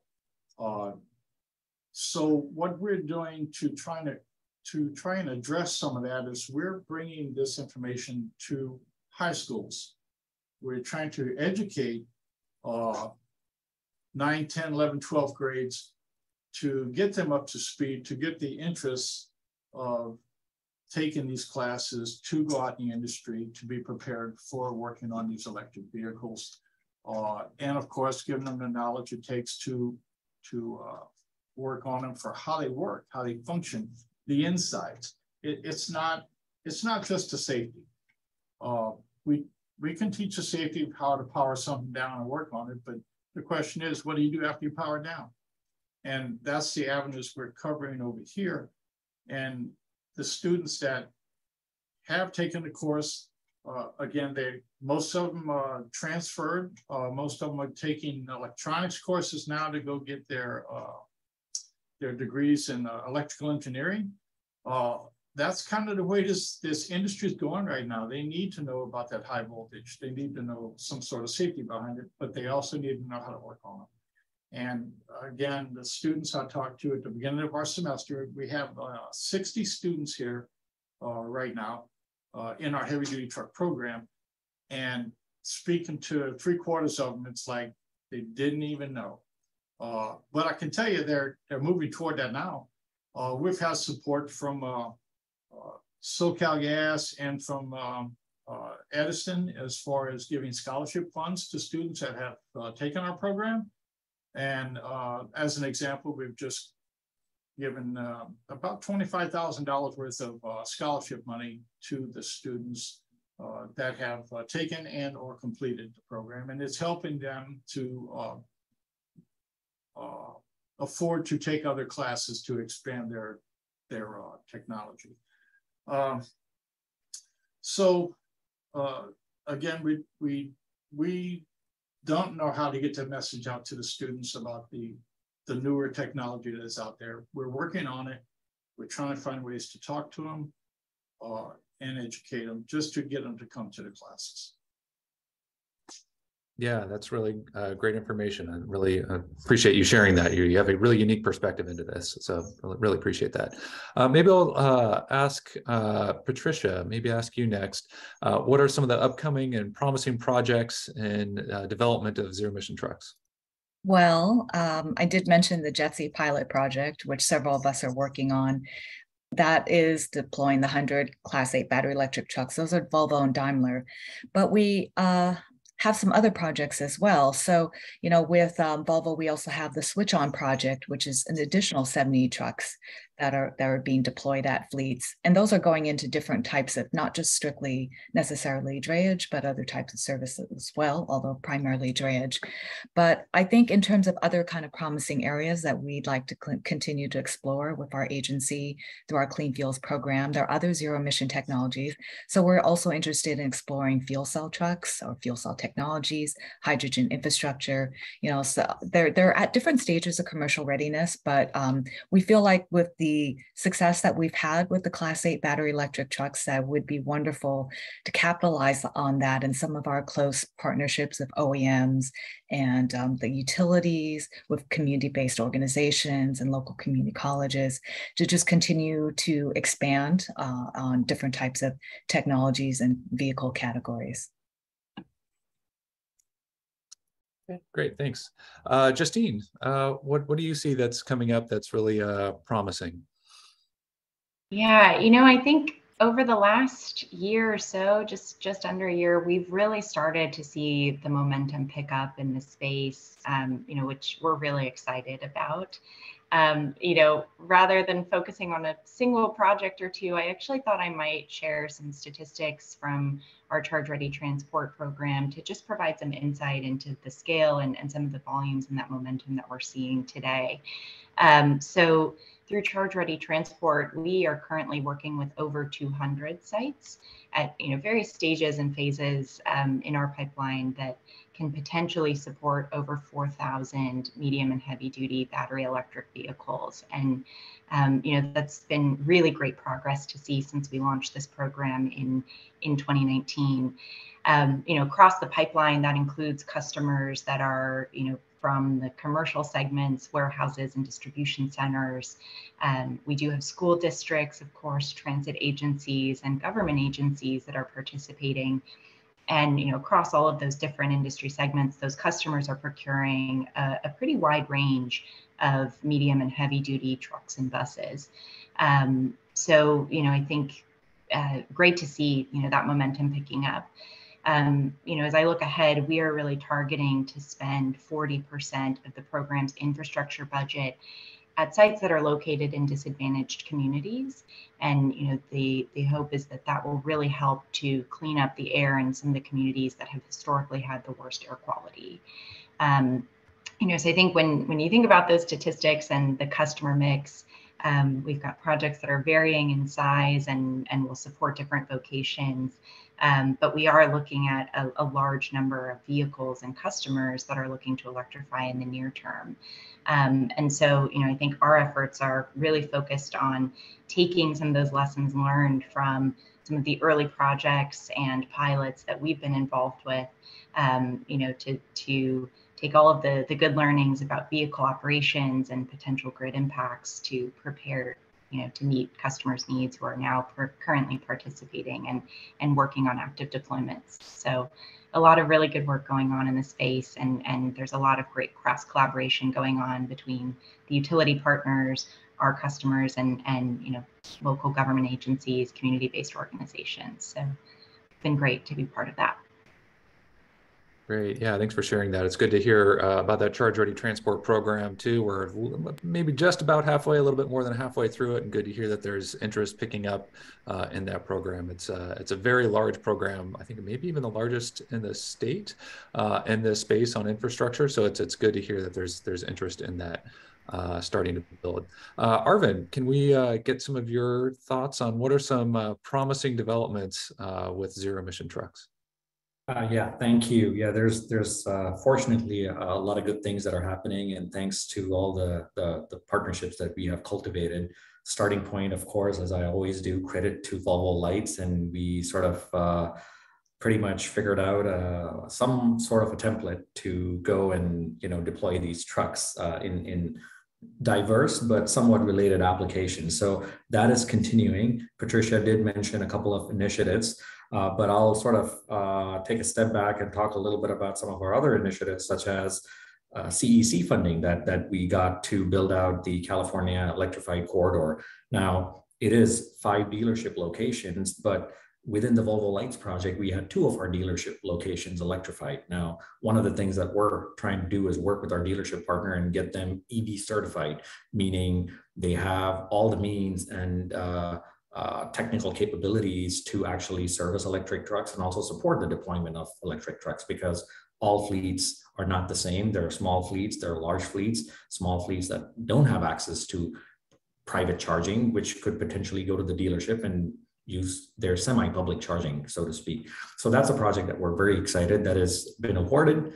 Uh, you guys probably saw the press announcement, but it's going to be built out over the next couple years. So it's going to be a great opportunity to work with two utilities that are really key in this area.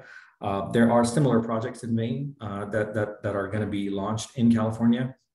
We're definitely looking at ways to work uh, with the right agencies to do hydrogen projects and also battery second life applications. So those are some things that are sort of in, in the conception phase, I would say. Uh, but yes, uh, we're also looking to put more Mack electric refuse trucks in California. So we're continuing to look for the right opportunity to work with the municipal fleets and uh, the right avenues to bring these to uh, the real world deployment. So it's really an assortment. Some of these are funded by state incentives, state grants. Some of these, of course, customers are kind of putting their own money. And then there's some others that are sort of a little futuristic, which we need to pursue together. So. Great, great. Appreciate that. I know I'm, I'm learning a lot from all the panelists today. I hope our, our audience is too. It's uh, really good to hear uh, everybody's perspective so far. Uh, we're actually getting to of our prepared questions. In my mind, this is actually one of the hardest questions, uh, and so I'm, I'm really uh, eager to hear what what folks have to say here. Uh, you know, we talked a lot about you know what's some of the challenges and some of the you know what's coming in the future and some promising projects. That's been really great. Um, but you know, one of the really challenging things when thinking about zero emission trucks is uh, these are largely vehicles that operate business to business right? And that that's what can the general public how, what's the role for the general public in this? And how can residents get involved in helping this transition? Because there's a lot of interest. And you know when we go out and we talk to people out in the community there's a lot of interest in getting zero emission trucks on the road. It's the largest source of emissions in our basin. These trucks go in and out of neighborhoods all the time so there's definitely a lot of interest but how do i mean typical residents aren't always involved in what's happening with a with a truck purchase or getting or deploying a truck and so I'm really kind of curious to hear the perspective of the panelists. You know, how can residents get involved in helping this transition uh, for truck fleets to get to zero emissions? And uh, maybe I'll start, Patricia, maybe I can start with you on this question. That'd be great. Thank you. You know, I, I, think that really there is an onus on agencies such as South Coast AQMD in helping to bridge that technology gap so that residents in these communities have a better understanding of zero emission technologies, vehicles, and infrastructure. It's it is complicated and it's there's a lot of different um, aspects to consider you know, in some cases, residents in our AB 617 communities have a community steering committee meeting structure in which to facilitate their understanding of these issues. And I think that we um, need to continue to do outreach to community members for our other projects whenever we have that opportunity, such as the JETSI pilot project, where we're with these big projects that we're now proposing and, and getting funded through grants, we're always proposing or including a community outreach component. We're including organizations such as Coalition for Clean Air or Breathe SoCal to really work to create kind of um, community workshops to really kind of help us with the messaging about zero emission technologies, about the progress of fleets as they deploy these technologies in the infrastructure, and to um, better get feedback from those community members as to what their concerns are and how to really fully address those concerns. But I think first and foremost, it is really just giving community members an understanding of different kinds of zero emission technologies, battery electric, fuel cell, infrastructure. What does it take? Why, why is it challenging? I mean, everyone says it's challenging, but why is it challenging? I mean, really giving them all those tools in their toolbox to understand and then to advocate and to make their own concerns known to us. Yeah, I really appreciate that, Patricia. Uh, Justine, maybe we can get your uh, your thoughts on this topic. Certainly, you know, I think we realize the importance of bringing along all of our communities, you know, in this transition in order to successfully achieve our clean energy future together. Um, you know, and so I think for residents, um, you know, engage in the process. Um, you know, I think climate action cannot be a, a kind of top-down process or initiative. We really do need, um, you know, new voices, everyone's voices, and those innovative ideas in the conversation to not only be creative, but to also ensure that we don't leave anyone behind. Um, you know, and so I think residents should engage with local local government agencies, as Patricia was saying, and, and their community-based organizations, um, you know, to voice questions, share comments and feedback, and, and also concerns regarding charging solutions and, and potential locations. Um, but yeah, I think Patricia really summed it up well. Yeah, great. Appreciate that. Uh, Arvin, uh, uh, any thoughts on this? Well, my fellow panelists did an outstanding job. No, but this is so important. I'm so happy we're thinking about this, right? I mean, just like a happy customer uh, is, is the best advocate for this technology, a well-informed resident or a, a community uh, member is going to be a, a, big, big help to uh, solve this climate issue as we're all working so hard. So I think absolutely imperative that they know that the technology is here, but it's not equivalent to just flipping on the switch. There's so many different moving pieces. This is a new, it is, it's, it's a paradigm shift and it's, it's a transition in progress. And we want to make it sustainable for all the businesses and all the players that are involved so that eventually we get the environmental sustainability uh, and, and that, that notion, that concept, that ideology is truly sustainable. So I would, I would say that there's a role for all of us uh, to do some of our own outreach. Uh, and, and then as, as a community member or a resident, if you hear about it, you read about it, obviously, as Justine and Patricia said, don't be shy. Go talk to your local government uh, agency or show up to some of these meetings if you have time or walk up to your dealership, talk to an OEM. Just don't be hesitant, you know, get the information. And then I think the onus is on a little bit of us to sort of team up and, and do the right kind of outreach. Patricia, you mentioned some of the outreach activities uh, along the lines of the projects that we're working on, but I want to reference, you know, the the technology demonstration that that South Coast organizes every year, if I'm not mistaken. And and and I think doing events like that and opening it up to the general public and having press, I think getting the word out, you know, in terms of what kind of investments are being made and, and the results of these investments, I think that's going to be very telling because a lot of these products, as we are hearing and talking about, they are commercially available. Uh, it will take time for wide scale deployment because of so many other factors. But I think it's important for the general public to know that this is not just a demo or you know just a lab experiment anymore. I mean, we we mean business. We want to get it right. Um, so yeah, just come and join the party. Well, zero emissions is always a party, uh, certainly around AQMD anyway. So uh, appreciate that uh, perspective. And, and Kenny, I, I, I, turning to you last year on purpose because you come at this from a different perspective of how to deal with uh, sort of residents and the public and you have a sort of a very particular perspective on this. What what are your thoughts about how residents can get involved in helping in this transition to zero emissions? And i think you might be on mute right now. That worked pretty good. There we go. Uh, thank you. Uh, yes we are uh, uh again driven by our advisory which is of local businesses. And uh, to get the information uh, we need to teach our courses, we, we do need uh, more input from uh, small businesses. Uh, uh, I guess they call them mom and pop shops and stuff like that, but it's still a small business and they need to know that we offer the uh, newest technology possible for them to uh, work safely in their small shops because they're going to be servicing these electric vehicles when they get out of warranty also. Uh, but to do that, uh, they need to support, uh, we need the local shops to, to come uh, to our advisories to voice their concerns and make sure that we cover what they need out in the industry um, to fill the void, you might say. The the outreach programs we have are, are really great for getting to the high schools. Uh, we have events that we put on here at the college. Uh, and, you know, just to have them uh, show up and see what we have to offer uh, is uh, information in itself uh, that's rewarding to the local industry.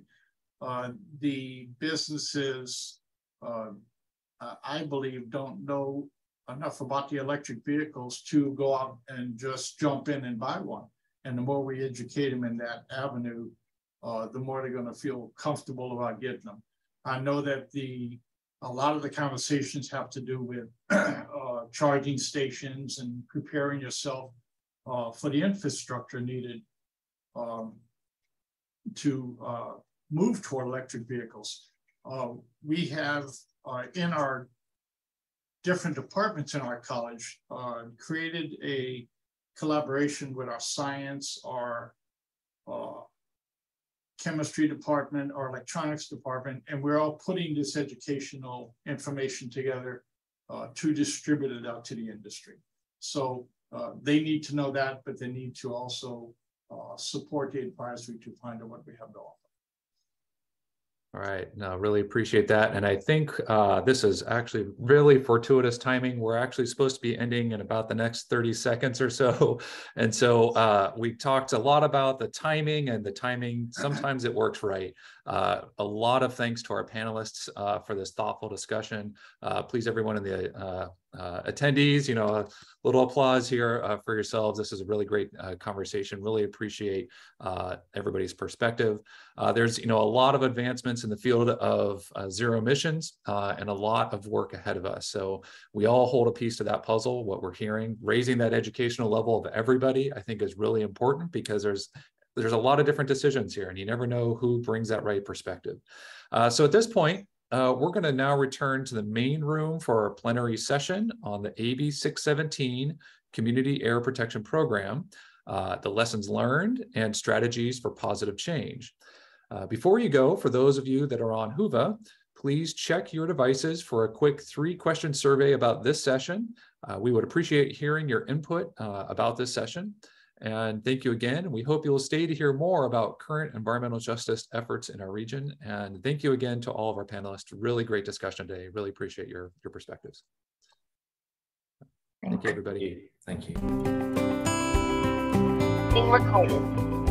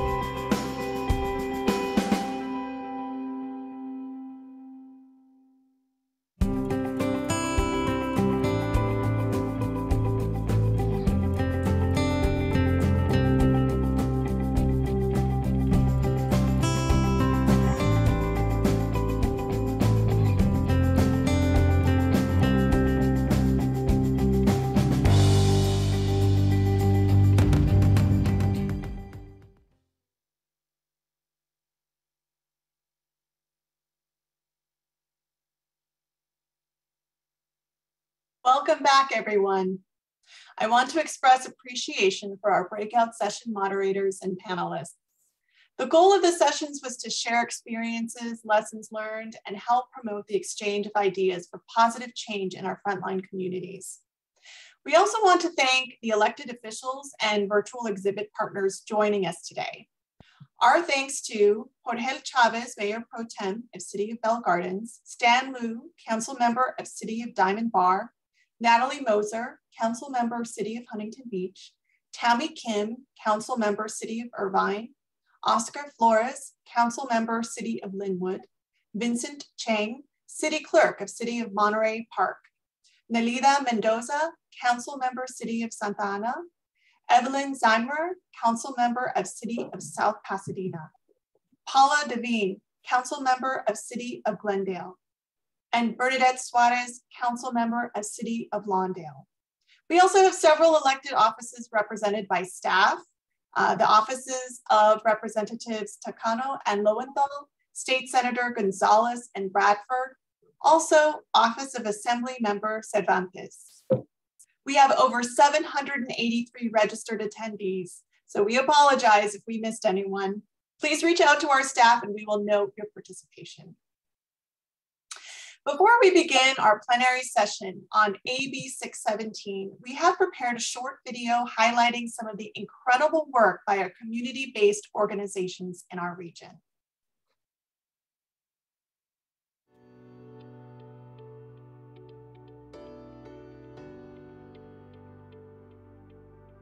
We as an organization are reducing air pollution within the community of Ramona Gardens through our campaign work. We have a big initiative called um, Ramona Gardens Air Pollution Solution, in which we are advocating for the creation of a natural park within our community of Ramona Gardens to one, reduce air pollution within the community, but also two, to provide more green space for our community of Ramona Gardens. What we're doing is adding resources such as uh, reducing air pollution through investing in green technology, green energy, uh, making sure that we have access to, to bike lanes so that our residents aren't using their cars, walking more, creating walkable neighborhoods throughout our city. Some of the other things that we've done um, as part of our Measure R modernization project is we've made sure that we have upgraded all of our air handling systems um, and to make sure that the air that is being brought into the classrooms is, is clean, it's pure, and that we're filtering out the uh, small air particulates that are coming in from the surrounding community.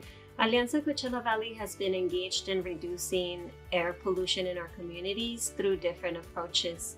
We do uh, advocacy to ensure that there is um, adequate resources to build uh, projects that will result in reducing um, air pollution. For example, bringing pavement to many of the rural mobile home park communities as one example, but also partnering with researchers so that we can better understand the impact of the air that we breathe.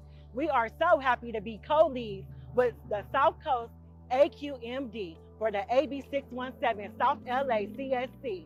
Congratulations, South LA. Your community emissions reduction plan has passed, and we are looking forward to implementation to make sure that as the legislation and the new culture permits that we have just transitioned and our residents are not left behind. Mobile home park, mobile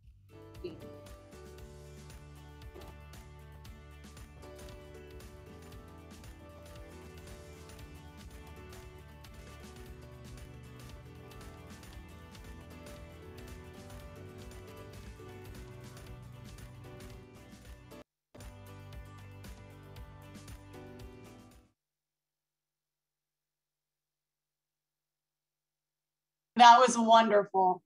Thank you to these organizations for the work that you do.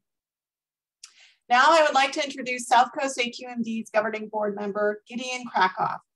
Mr. Krakoff was appointed to the South Coast AQMD governing board by Governor Gavin Newsom in March 2020.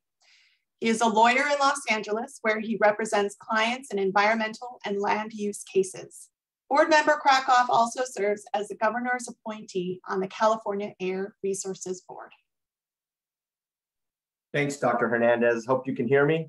Yes. And thanks for doing this today. Uh, good morning, all. I'm governing board member Gideon Krakoff, uh, zooming in here from Los Angeles today. And it's my pleasure to introduce uh, this plenary session on AB 617 Community Air Protection Program. It's entitled Lessons Learned and Strategies for Positive Change. The AB 617 program's focus is to reduce exposure in specific geographic communities most impacted by air pollution across the state. Communities are working together with air districts like AQMD and also CARB to develop and implement plans with specific strategies to measure air pollution and measurably reduce health impacts. In the South Coast, we have six of these 617 communities. Carson, Wilmington, Long Beach, South LA, Southeast LA, Boyle Heights, San Bernardino, Muscoy, and Eastern Coachella Valley. During this breakout session, you're going to hear directly from community steering committee members in the region. They're going to share their experience participating in community air protection program, their community air reduction, uh, air emission reduction efforts, and lessons learned. We're going to capture their collective experience to inform and continue this work in our communities. It's a work in progress, but together we can hold each other mutually accountable and ensure that AB 617 meets its promise. Our co-moderators for this morning's session are Angie Balderas, San Bernardino environmental justice activist and uh, AB 617 Community Steering Committee member, and also from our own AQMD staff, Arlene Farrell Serio. She is our senior public affairs specialist at South Coast AQMD and a liaison to the Eastern Coachella Steering Committee. Both of them worked so hard for this program. They work so well together. Angie and Arlene, it's like Batman and Robin, peanut butter and jelly, famous duos. Let's give them a warm welcome talk about AB 617 and community health protection. I'll turn it over to you. Wow, what a kind welcome. Thank you so much for that, Governing Board Member Krakoff. Um, speaking of superheroes, it's always nice to see you and your continued support for the 617 program through the years. Uh, we truly appreciate you uh, for being here and your continued support.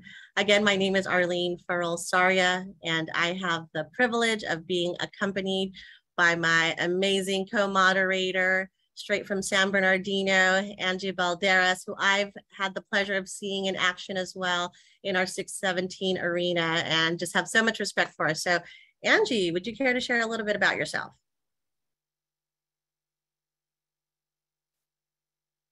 Sure. Thank you so much, Gideon Krakoff, um, um, Chair, and Arlene um, for that intro. Uh, once again, I'm very honored to be here with such great folks. Um, it's a beautiful day when you get to chill with beautiful people, right? Uh, my name is Angie Balderas, pronouns she, her, here, her. I'm here on occupied uh, um, land of the Serrano people here in the IE. And I will be co-moderating, of course, these breakout sessions by, um, so first of all, let me let you know a little bit about myself. Um, Angie Balderas, and I've been organizing and advocating here in the region of the IE for about over 20 years but don't get it twisted. I'm still in my mid 20s. Um, I've had the pleasure to work alongside um, some of the folks um, for all these years who are on the panel, um, uh, whether it been regarding education, LGBTQ rights, uh, labor and union rights, and of course, environmental justice. I am the co chair for the AB 617 Muscoy and San Bernardino Committee, and I am also an organizer uh, with the Sierra Club and uh, just a community member who is um, here for the for the fight, right? Um, together um, to uh, do whatever we can to leave a, a, better, i.e., a better California for the future. So, well, um, this breakout session um, will be uh, speaking to members of the CSC from uh, uh, virus, uh, uh, I'm sorry, Arlene, I think I took your spot. No, that no, I was just gonna say you are not just a community member. You all, we are, we will hear from all of you today, um, especially this esteemed group of professionals who also join us, Angie, um, just as dedicated to their communities that they serve, just as you are, and to the fight for environmental justice and clean air. So we are super excited. We hope by the end of this session, we can all come away with something of a better understanding of this program, um, all the different opportunities and the different approaches to how we're moving towards implementation, implementation, and of course, to ensure more of these positive outcomes by working with community members such as yourself. So Angie, uh, you wanna go ahead and um, take it over and see who else we, who's joining us on our panel today? Yes, we have a fire group, like I mean VIP status, joining us today for the plenary session panel of the AB 617 CSC members. Um, we're gonna um, give our panelists a few minutes to introduce themselves and tell us more about themselves. Who are they? Um, you know, what um, city they're representing. So let's begin with the one and only Reverend Patricia Strong Fargas. Um, uh, Reverend Patricia, can you please let us know a little bit about yourself? And thank you for joining us today. Yes, I'm very excited to be here today. I'm very excited to be part of this panelist. And um, I am Pastor Patricia Strong Fargas, a pastor located in South Los Angeles on 87th Place and Central Avenue. And uh, I've been part of this panelist group over a year now. And I think we've done great work. Um, I was excited about the work. I was excited about coming to be on the team when I see there's a difference. And that's what I'm all about making change, making things profitable, making this uh, a, a, viable society. And, um, uh, and I am located here in South Los Angeles. I've uh, been pastoring here for quite a few years. You have so many groups that I'm part of. Um, one of them is co-chair of Faith for Safer Streets, fighting for slowing uh, traffic down um, anything that will make this community a better place to live in, anything that will make the city of Los Angeles a better place to, to live in, anything to make this country a better place to be around, anything to make the world a difference. Pastor Pat is part of it. And the cities that I represent, in South Los Angeles includes Baldwin Hills, Crenshaw, Compton, Lynwood, South Central uh, Watts, and West Adams. And our group have worked hard and you'll hear more about it. So I'm just so happy to be here and be a part of this panelist group. Thank you for asking me. Well, thank you. We are so honored to have you bringing that fire, Pastor Pat. Appreciate it. and next on our panel is the one and only Mary Valdemar, who I've had the pleasure of knowing for many years, and vice versa. She's had the pleasure of knowing me. I'm just joking. Uh, so, Mary Valdemar, take it away. Let us know a little bit about yourself.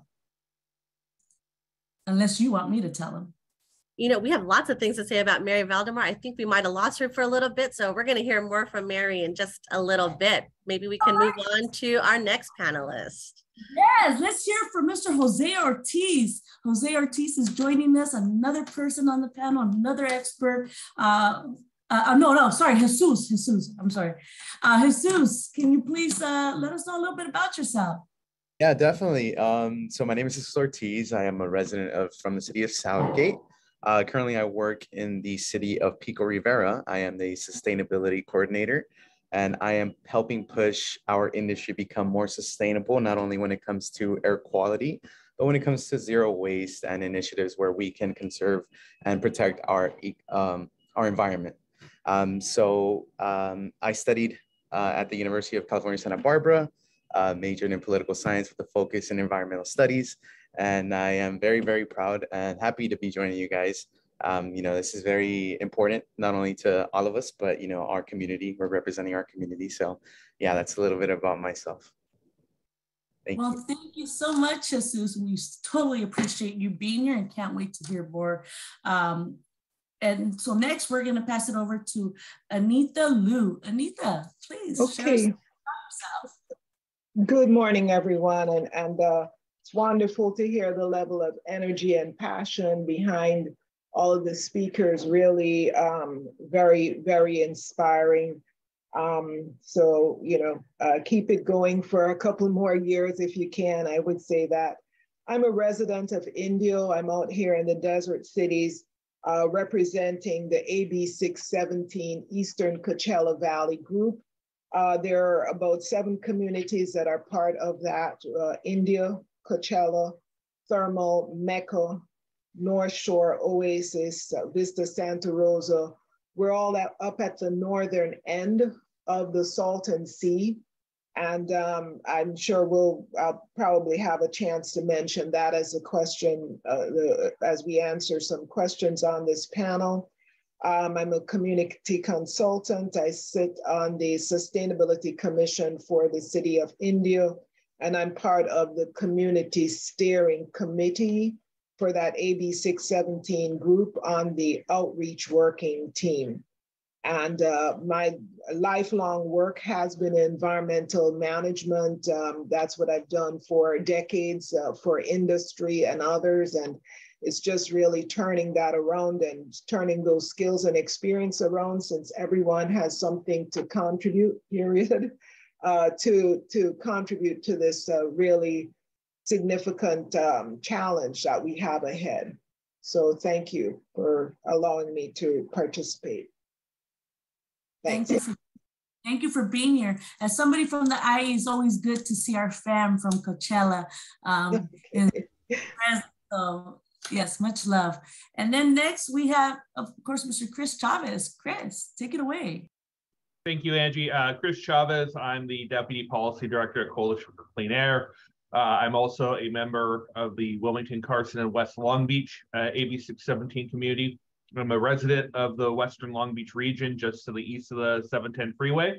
Uh, so certainly we have a number of air pollution issues in this area, uh, ranging from the ports, trucks, refineries, oil and gas operations, industry, and so on. So certainly, uh, and I, I, know that that's uh, all of our communities uh, have a number of impacts that we deal with on a daily basis. So certainly looking forward to to this uh, conversation. In addition to that, uh, recently appointed to the Long Beach Parks and Recreation Commission. So uh, looking at things like park equity, uh, which is also tied into the broader uh, efforts towards environmental justice and trying to help uh, communities that have long historically experienced uh, environmental racism, environmental discrimination. Hey, thank you, Chris. Folks, when I tell you we're bringing fire on this panel, we're bringing fire. So thank y'all um, for doing such amazing work in your communities and just for overall for California and for uh, Mother Earth. Um, so thank you for sharing and taking the time to join us here today. And I'll pass it back to Arlene. Awesome. And I believe we have Mary Valdemar back. Can she come join us and say hello? Hi, y'all. Sorry about that. Technology has the worst timing ever.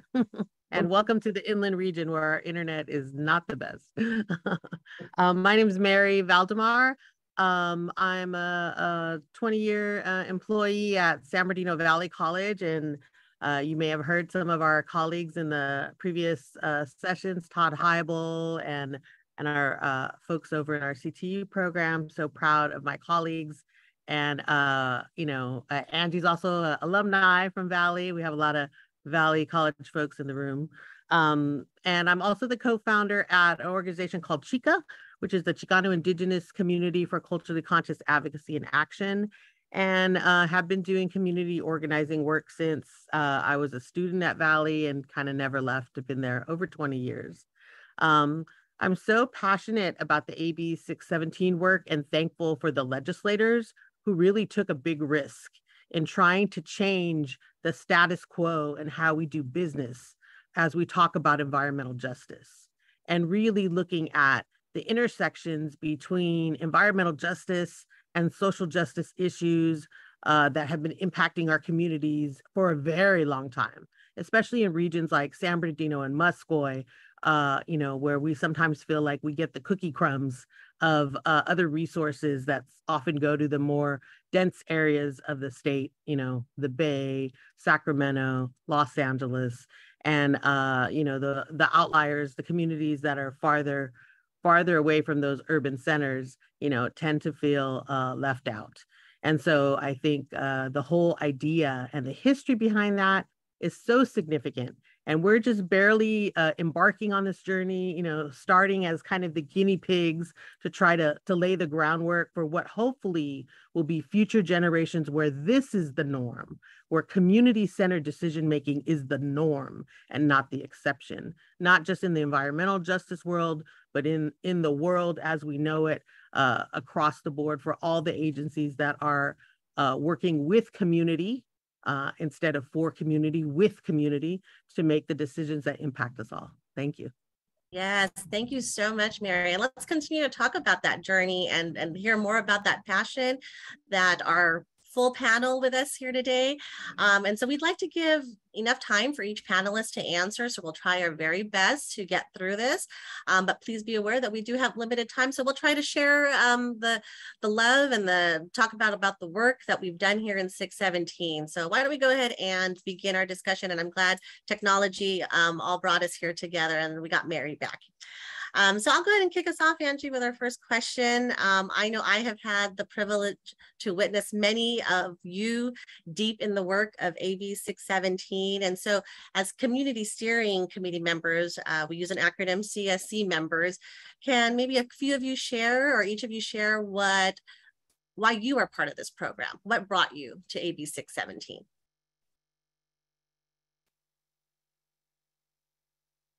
Uh, I can start that's okay.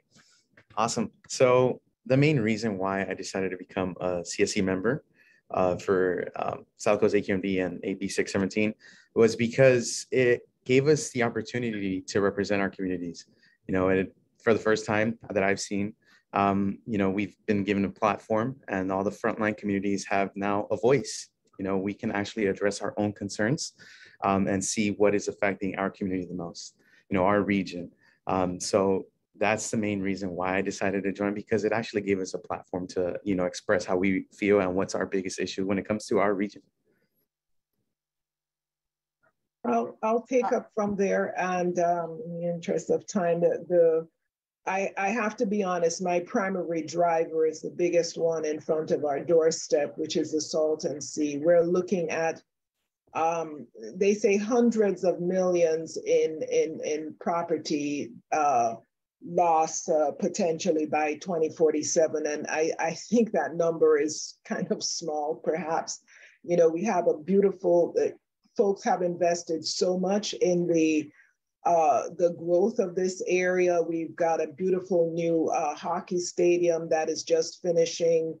Um, you know, we're trying to do stuff for our our our folks that um, are on house uh, we're trying to bring the, the, the nice thing about being out here in the desert is the thought is to, uh, you hear it at the city level, at the community level, is to bring everyone along. It's not uh, some uh, just uh, the, you know, the folks who can afford the millions of dollars of houses, although we have those out here. So to me, if we don't address these issues, they threaten to um, override all of the wonderful efforts that we're making. So I'd very much like to see that. And my choice was uh, fight or flight. And so I think I'll give it a go with, with this and see if, if anything uh, can be done. And, um, and, and uh, again, it goes back to doing what you can uh, with, with, with what you have. Everyone has something to contribute. I have my experience. I think folks working in the farms have another uh, perspective to bring. So it's, a, I guess it's a unique environment in that it allows everyone a seat at the table. There are no uh, gates, blocks, or barriers. Thank you. I uh, this is Patricia Strong Fargus. I joined because I heard there was a program that focus to reduce exposure in, uh, uh, in the community that impacted air pollution. Living and having members that had asthma and had other um, uh, ailments that will cause uh, breathing conditions. um, I said, well, you know, that sounds good. I need to be part of that because in our areas that are so impacted, we don't get these chances to be able to uh, uh, collaborate with policymakers and um, AQMD agencies that will make a difference in our community. So when this came about, that uh, I can have a voice, our community can have a voice, and we can make some changes to make it a healthy community. Um, I said, you know, I think I'm part of that. I think I have a loud mouth that can uh, get the community together, address the issues in the community because we are the boot camp. We are the troops that know what's going on in our community. So if our voices can be heard to make a change and to reduce and monitor uh, things that are not uh, conducive to our environment and, and too much pollution, let me be part of it. So that's why I joined. Yeah, I, I, think one of the, the big things about AB 617 is for so long, uh, air pollution in California was looked at through a regional or a statewide lens, but really there wasn't enough attention being paid attention to local issues, things happening at the neighborhood uh, and community level. So you can say things have improved overall, but when you still have massive disparities at the local level, uh, at people's neighborhoods. Again, you know, living downwind of the 710 freeway, we deal a lot with diesel particulate matter. Uh, we deal with stuff from the refineries. Conversely, uh, the Salton Sea. I, for me, I, uh, you know, if I was regular, I certainly don't, don't know enough about the Salton Sea to make a decision on it. But being able to hear that community input, that community feedback, and saying that this is something that we care about, something that needs to be addressed, I think that's really the, the, the key thing that interests me in AB 617 is how do we elevate, how do we prioritize the issues that our communities are facing and actually getting action on them.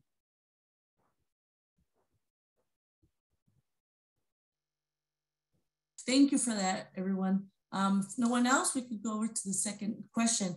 Uh, how has the AB 617 program changed community engagement, or has it? So that's the second question. And whoever would like to take that. I'd like to respond to that if that's okay. Um, so recently, um, uh, we've been working alongside uh, Loma Linda uh, Medical University and um, our folks at Action Driven Inquiry and the Environmental Education Collaborative. And during the beginning of the pandemic, you know, the freeways were empty and it looked like a ghost town. And uh, there was a project that was done uh, with Mary Walls where they uh, looked at schools in Upland and schools in San Bernardino where they had air monitors installed. And the kids, you know, this was youth driven, youth said, Hey, we think no one's on the freeway. We're going to see an improvement in the air quality. And so we looked at the data in Upland, and sure enough, air quality better.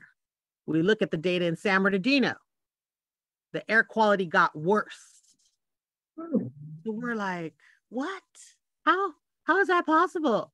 And start diving into, you know, asking questions, you know, uh, initiative questions, looking at despair around, you know, even if everyone around us stops what they're doing, because of the situation in San Bernardino and Muscoy, we're still going to get the impacts always as a logistic hub and a logistic center. When everybody was at home ordering on Amazon, guess where that was coming from? You know, the truck deliveries, the warehouses, that was coming from San Bernardino and Muscoy. And so even though everyone else benefited from the, you know, lack of traffic on the freeways, we did not. And as we look at that and how it impacts our communities, you know, communities that are houseless, communities that lack health insurance, undocumented folks, people of color, people who are already experiencing multiple disparities, we see clearly that things in every community, you know, are not impacting folks the same. And so we have to look closer and do more work to figure out, you know, how do we collectively you know, resolve these issues and understand that what we do impacts our neighbors. The folks in Upland didn't have the intention of harming their neighbors in San Bernardino. Nevertheless, that was the impact. And looking at impact over intent is what this steering committee needs to be about. And this AB 617 work needs to be about. that can't happen without community driving the conversation. And so uh, we've seen uh, uh, that same group, uh, Chanel from Loma Linda, did a study that analyzed actually the participants who've been participating in AB 617 and uh, starting to put out a report that shows that you know how much time the community mic has how much time the community has on the mic how much time residents who are the experts about what's happening in their region have on the mic directly impacts the success of the outcomes for those communities and so as we strive to make sure that that's more inclusive you know we got to start looking at the data and keep pushing to have it more and more representative of the local communities Thank you, Mary. And I always say if the community is not centered, the work's not really being done the right way. So anyone next? I, I was thinking in regards to um, uh, changed community engagement. I would say yes, it has changed community engagement.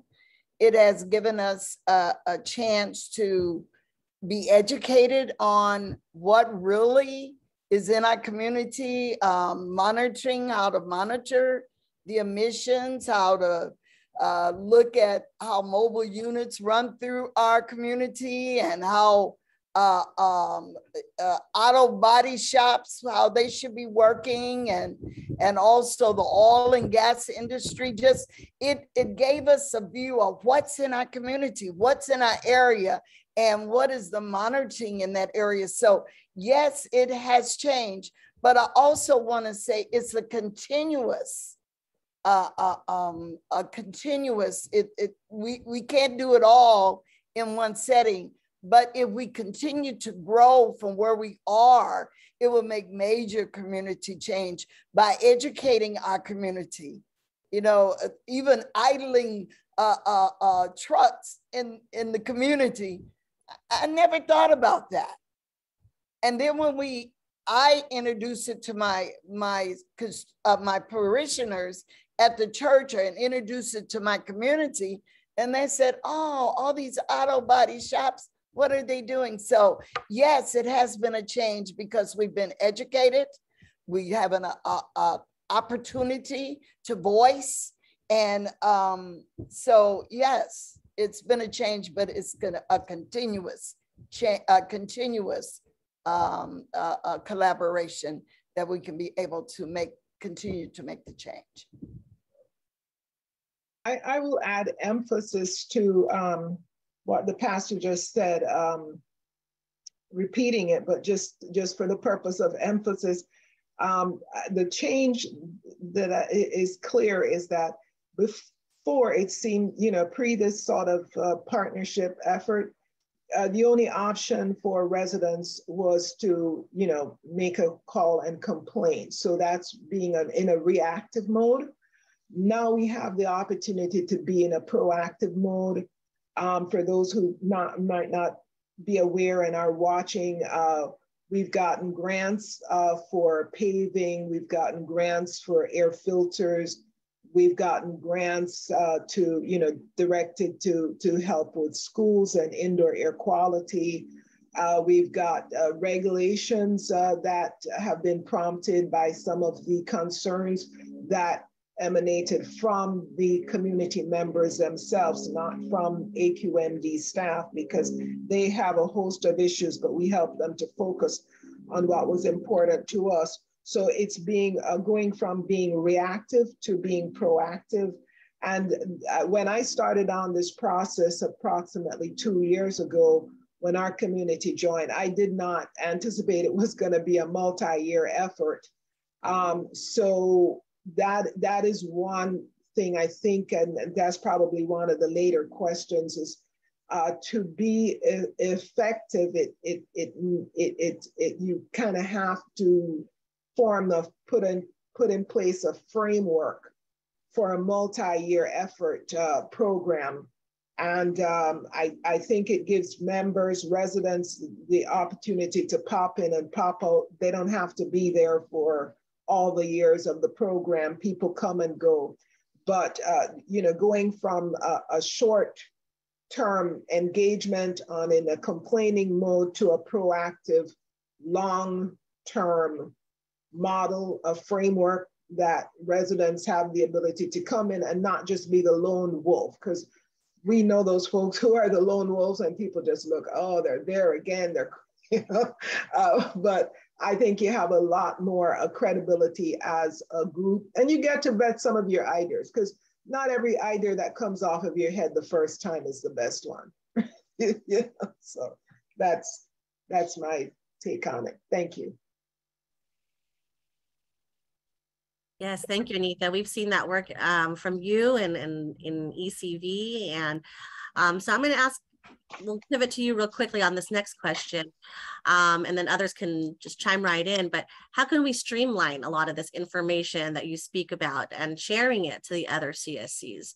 Could you help us? Um, we we had one, um, yeah, we had one joint group and uh, that I can remember, maybe it was two, but we had one joint working group and, and that was really effective.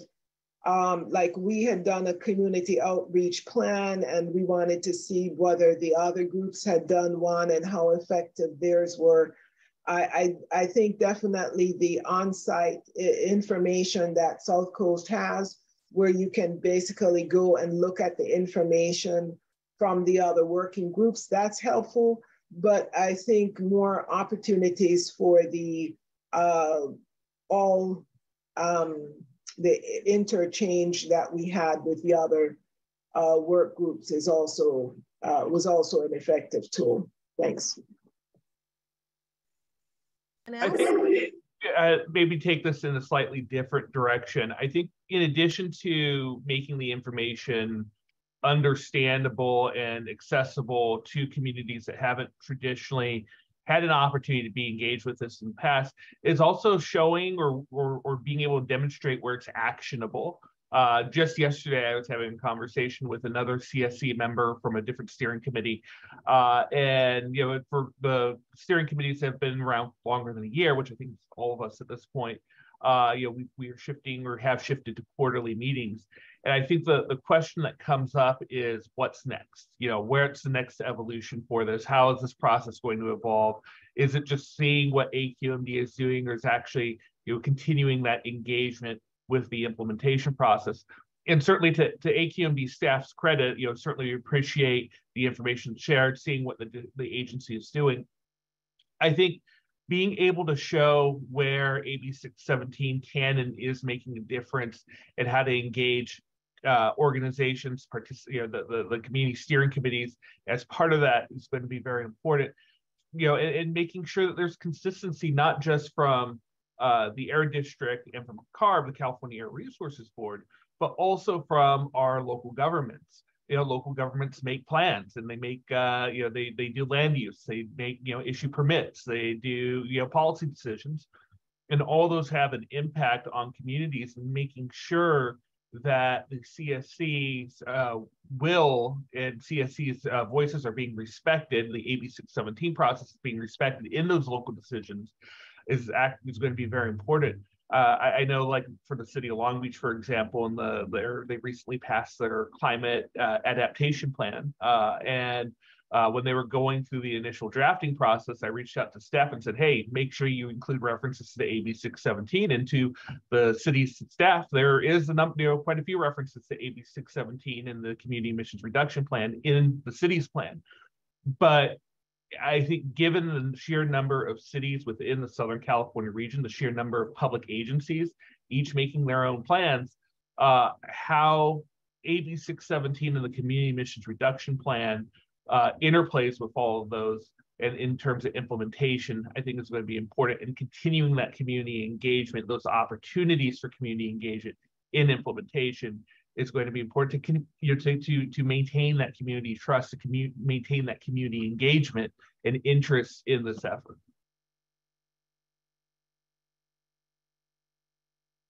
Thank you. Anyone else? If not, we could go over to question number four. What suggestions do you have for communities looking to partner with um, government um, agencies?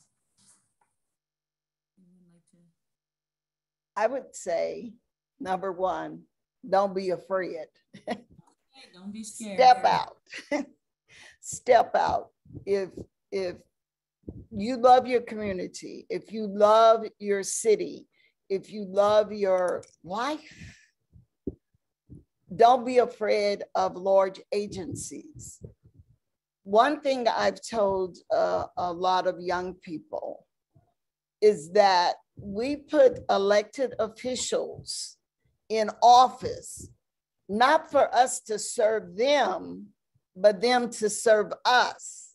And so don't be afraid if you see an issue, you see a problem, go to different agencies that is um, in control of these um, uh, uh, uh, problem areas.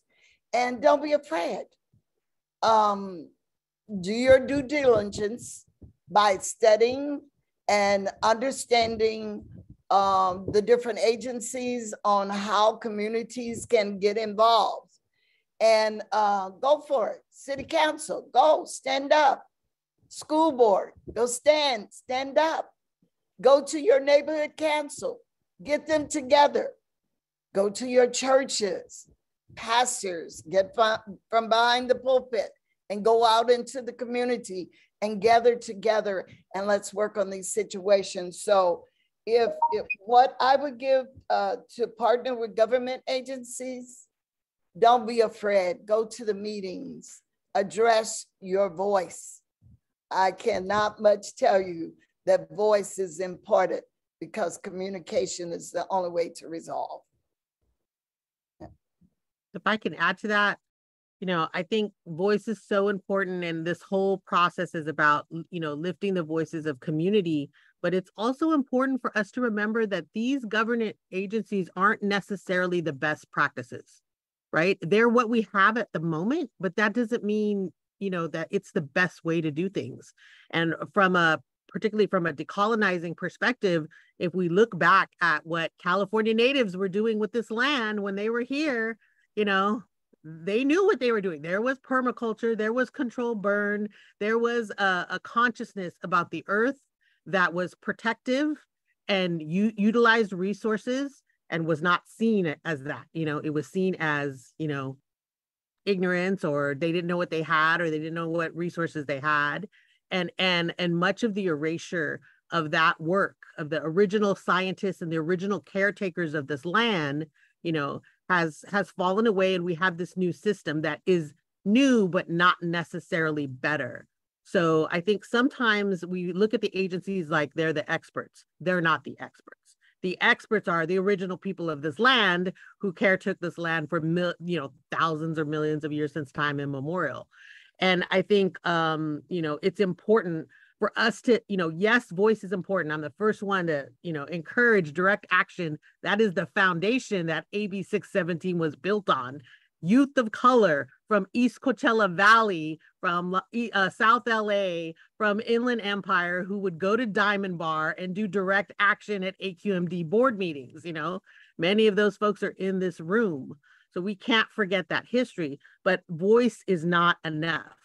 We must also have ownership, ownership of the decision making processes that are happening and take uh, control of, of, of what we know as community experts is the best things for our communities. And, and when we do that collectively, it doesn't matter if the agency is on board or not right? We take control of that narrative, we take control of those actions, and we make those things happen for our communities. Um, the the agencies, the government, like all that stuff, you know, we get to decide what those best practices look like. That's not necessarily the best practice just because it exists today. So let's let's make sure. And I'm gonna pass the mic to Jesus because I think Jesus, you need some mic time. Thank you. Thank you, Thank you for calling me out. Yes. Um, so yeah, definitely um, you know, going based off what um our panelists were saying, um, you know, don't be afraid. That's definitely one. And one thing that we have to analyze is that, you know, a lot of of the individuals in these agencies, government agencies, also share their common interests as we do. You know, it's sometimes, uh, especially nowadays, we see like this divide between government and community. Um, and I don't think it works that way anymore. You know, a perfect example is um, with CARB. You know, we started a work group uh, with one of their members because we had a concern about catalytic converter theft in our community. So we went and we partnered with CARB and we created a work group, um, you know, based off the individuals that are CSC members in, in the Southeast LA region. So just, um, you know, like everyone is saying, you know, voicing your opinion can go a long way because now we have research data um, that we've collaborated on and uh, we're getting results and we're meeting with uh, PD departments. Um, um, and we're kind of creating a planner and a strategic plan to see what's causing this and how we can prevent it. So, you know, our voice can go a long way and we're seeing it, we're seeing the effects of that, not only here, but, you know, in my personal experience as well. One little truth that I would add, like to add to that, and I'm sure all of the, the, the panelists know this to be true, is that this requires time.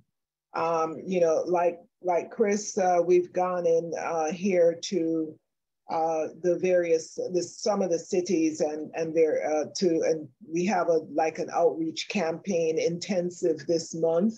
Uh, Arlene and I will be with the city of Coachella this afternoon. Um, we're scheduled to talk to the city of Indio later this month. Uh, we just finished speaking to Mecca North Shore, um, and we'll be back with them in November and it requires uh, time. And so you do have to have a few people who are ready to, uh, to you know, invest that time. And also one of the things that we did at the start of our program, because we, we, we spent a lot of time in proprietary mode and just getting to know each other uh, from the resident and the community org and, and, and agency side at the start of our process. But once we got going, we did okay. And um, one of the things that uh, that that we we did is we created a community. What do we call it? We we did a community profile where we really looked at you know, the plans, some of the plans that Chris was mentioning, you find out what the cities are doing, their transformative climate communities plan, their sustainability plan, and then you in, add yourself to the process. So you need, it takes time to do a little bit of homework. So, so be prepared to do that because they might not necessarily have the people who are funding uh, to, to, to devote to getting to know us. So I'm sorry to say in a way you, I kind of feel you some, you know, someone might disagree with me that you have to be able to put in that work to reach over to them. Thank you. Thank you. If no one else, uh, pass it over to um, Arlene for the next question. Yes, thank you. So now I'm going to ask, you know, as many of you who can respond, because really we're, we're, taking our notes here. Um, but what are some of the lessons learned uh, from this program and this process?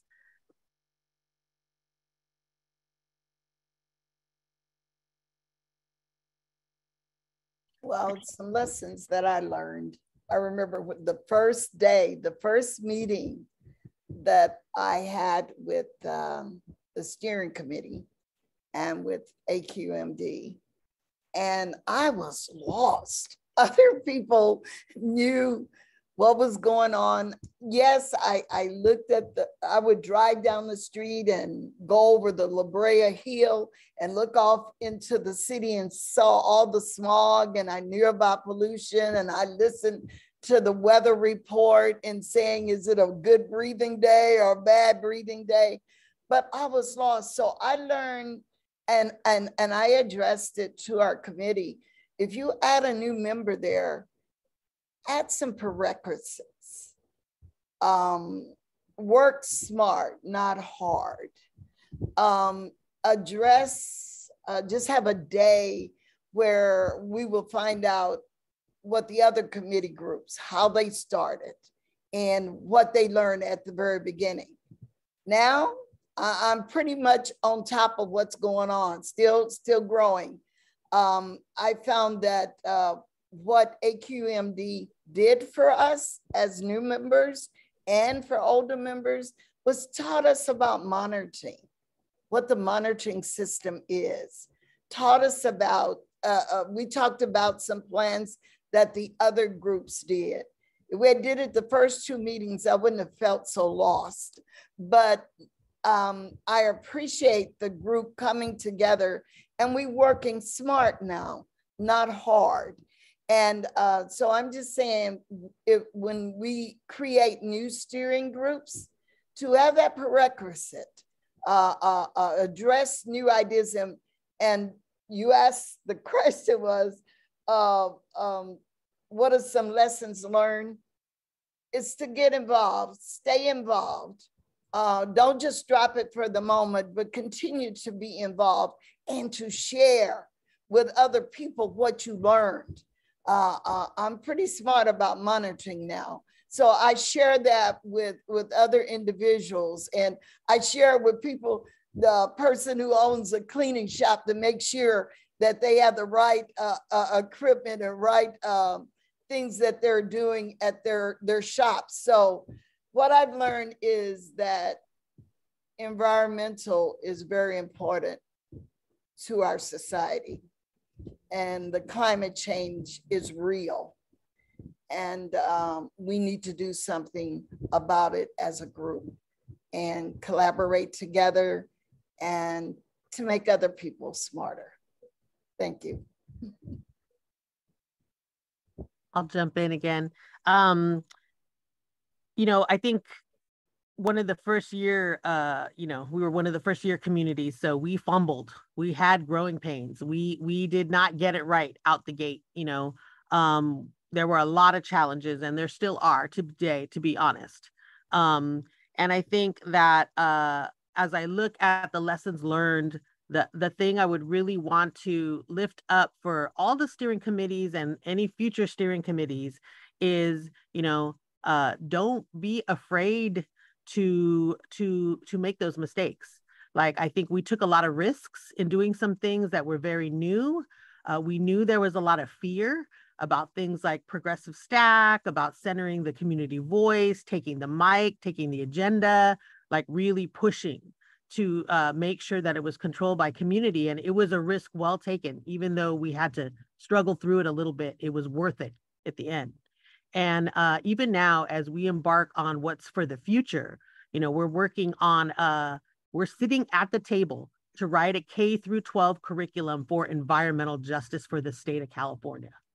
So we know we're going to change the narrative. We've already changed the narrative. We've already changed the history. And we're going to continue to do that and make sure the future generations are taught from day one the right uh, information about what is environmental justice not just environmental conservation, not just environmentalism, environmental justice, where we actually look at the impact over the intent and we actually do what we can as communities to correct the harms that were done in the name of the environment.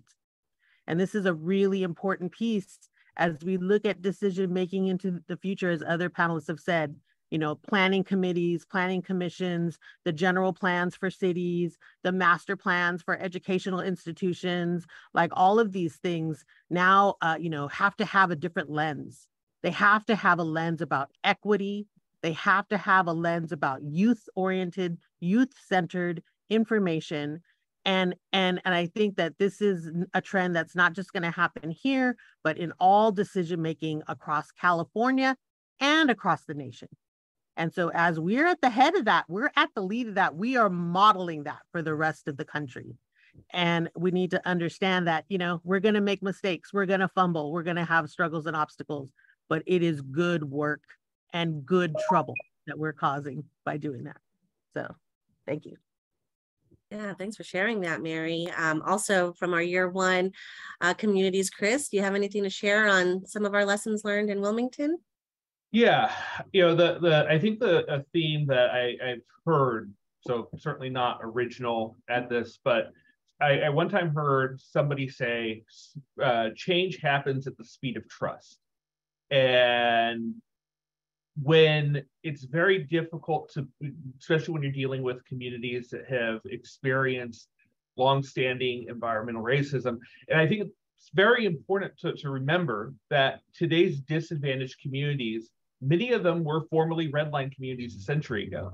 Uh, I know the community I live in uh, was redlined. The community where my parent, my dad grew up, Wilmington, was redlined. Uh, so we're talking about overcoming a century of discrimination, generations of discrimination. Uh, there's going to be distrust of the system because of that. There's going to be distrust of proposed solutions coming from public agencies, public institutions, where our organizations have criticized some of the policy decisions by those institutions, by those agencies. Um, and I think it's very important to, to remember and, and to, to know that trust can be built, but it's based off of results. It's based off of past actions and, and, and commitments and fulfilling those commitments.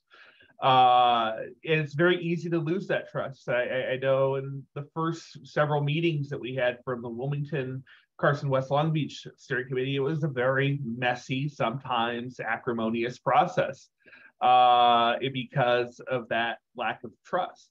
Once that trust got built up, we got a little bit more accustomed to working in that in the AB 617 environment uh, I, I, feel that that kind of built upon some of the uh, you know that that was a, you know built a platform to stand off of something that we can can, work on off of. And I think generally speaking, it, it, has helped us move in a direction, a positive direction. I think the other thing again it ties back to the comment that I mentioned earlier is being able to show what's next, being able to show what is going to be followed up on, what the results are of this effort. Um, I actually think one of the most enlightening things that I've seen in the, the AB 617 process and really felt uh, was helpful was the participatory budgeting exercise we did. Uh, I want to say last year, could have been earlier this year. It's yeah, and, and, and in these times, it's easy to get confused as far as exactly when things are taking place. But uh, and really, what I think that stemmed out of was seeing how and where money is being allocated. Where you saw, you know, a, a very large amount going to uh, the the the port area and the the down, you know, the LA region, but not as much going to East LA and not as much going to San Bernardino. And I know the San Bernardino folks were like, wait, wait, what's this about? And uh, really being able to, to force a conversation of saying, hey, how can we get more resources, more investment in our community. At the same time, through that participatory budgeting exercise, actually respect hearing and respecting and acting on community priorities uh, and, and making sure that the district's allocations, the district's investments reflect those priorities.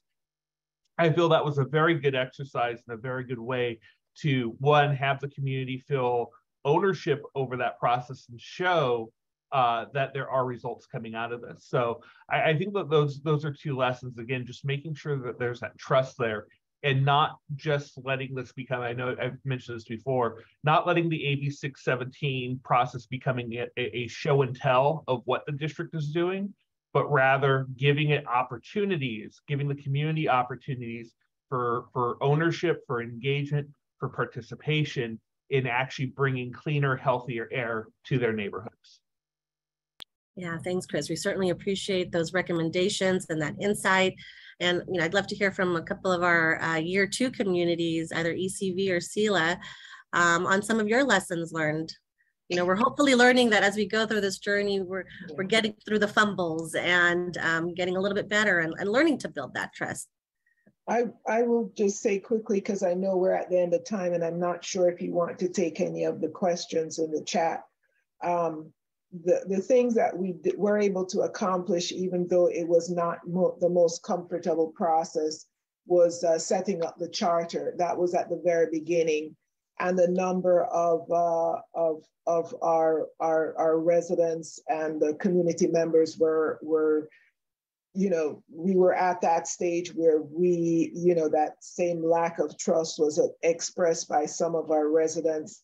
And they sort of had to work through that issue until, but but it was a worthwhile. It was an uncomfortable process for a while, uh, but but we got a charter that we can work with. That said, um, I think our charter that we have in some way, you know, we probably need to revise it because I I personally think it needs a little bit more flexibility in terms of participation because I don't think a lot of residents have the amount of time needed to stick with that process. So I think we have to allow for an ebb and flow.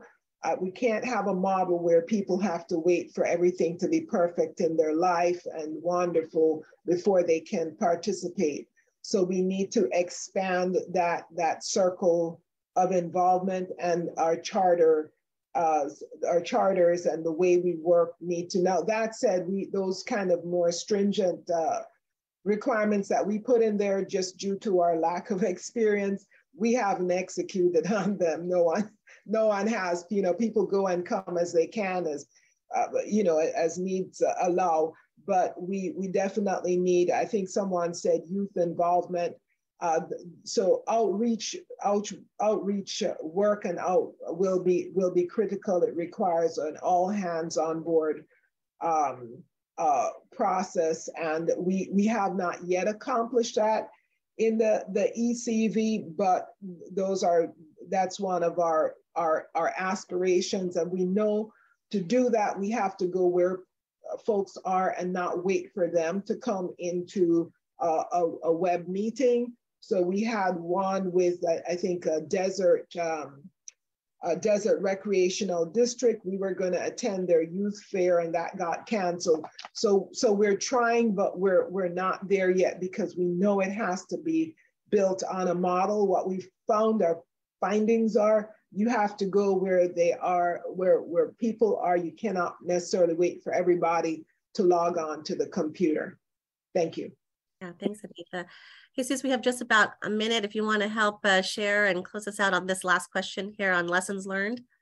No, definitely. I'm going to go real fast. Um, so based on what, you know, Anita said, um, I definitely agree, you know, two hours, two, three hours a month was definitely very hard to, you know, get everyone's ideas in and, uh, you know, everyone's, all the shareholders to, you know, give their brainstorming ideas, whatever it may be.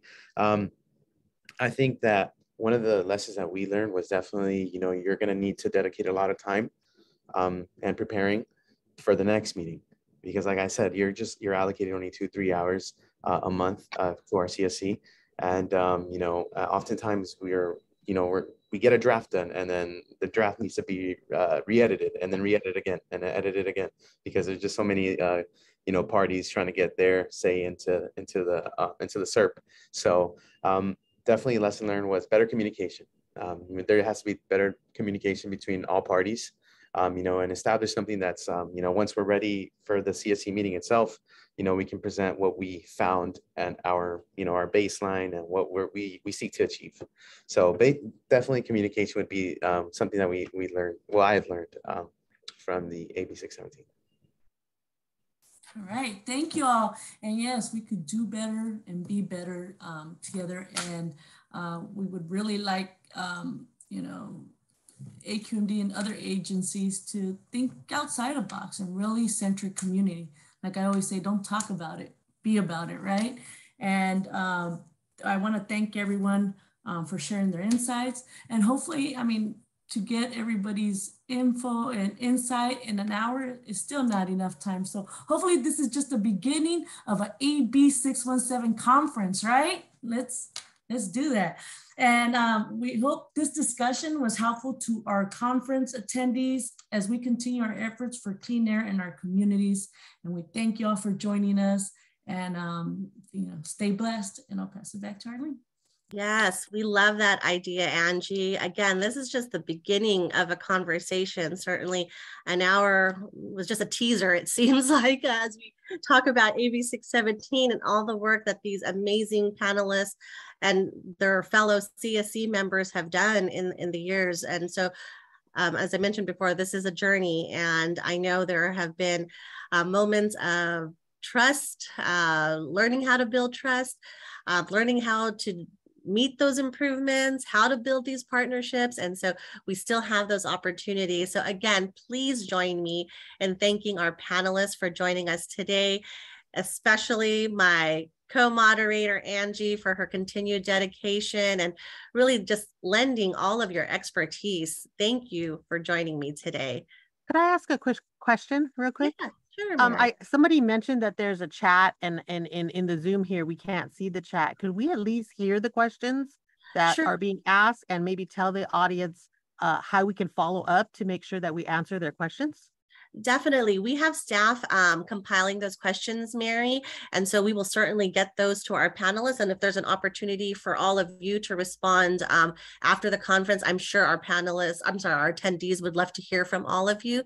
So we will make sure we connect you. I mean, that's really what 617 is, right? We are bridging our community to other communities and to other agencies. And so we will definitely get you a list of those chat questions um, soon after um, this this conference is over. Thank really you appreciate you mentioning that though, Mary. That is a very important part of it. So um, up next, you do not want to miss our keynote speaker, US EPA Region 9 Administrator, Martha Guzman. We will transition just to a short break and reconvene about 11.40 a.m. Thank you all again for listening to our AB 617 panel.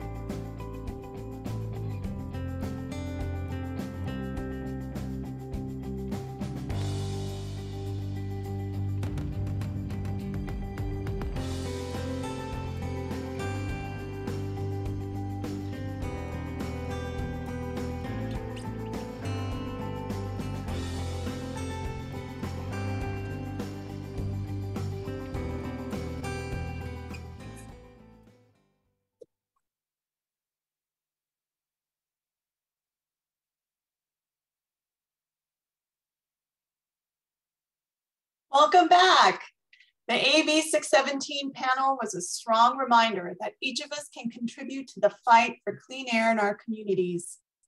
It is my pleasure to introduce to you now the South Coast AQMD Governing Board Vice Chair, Senator Vanessa Delgado.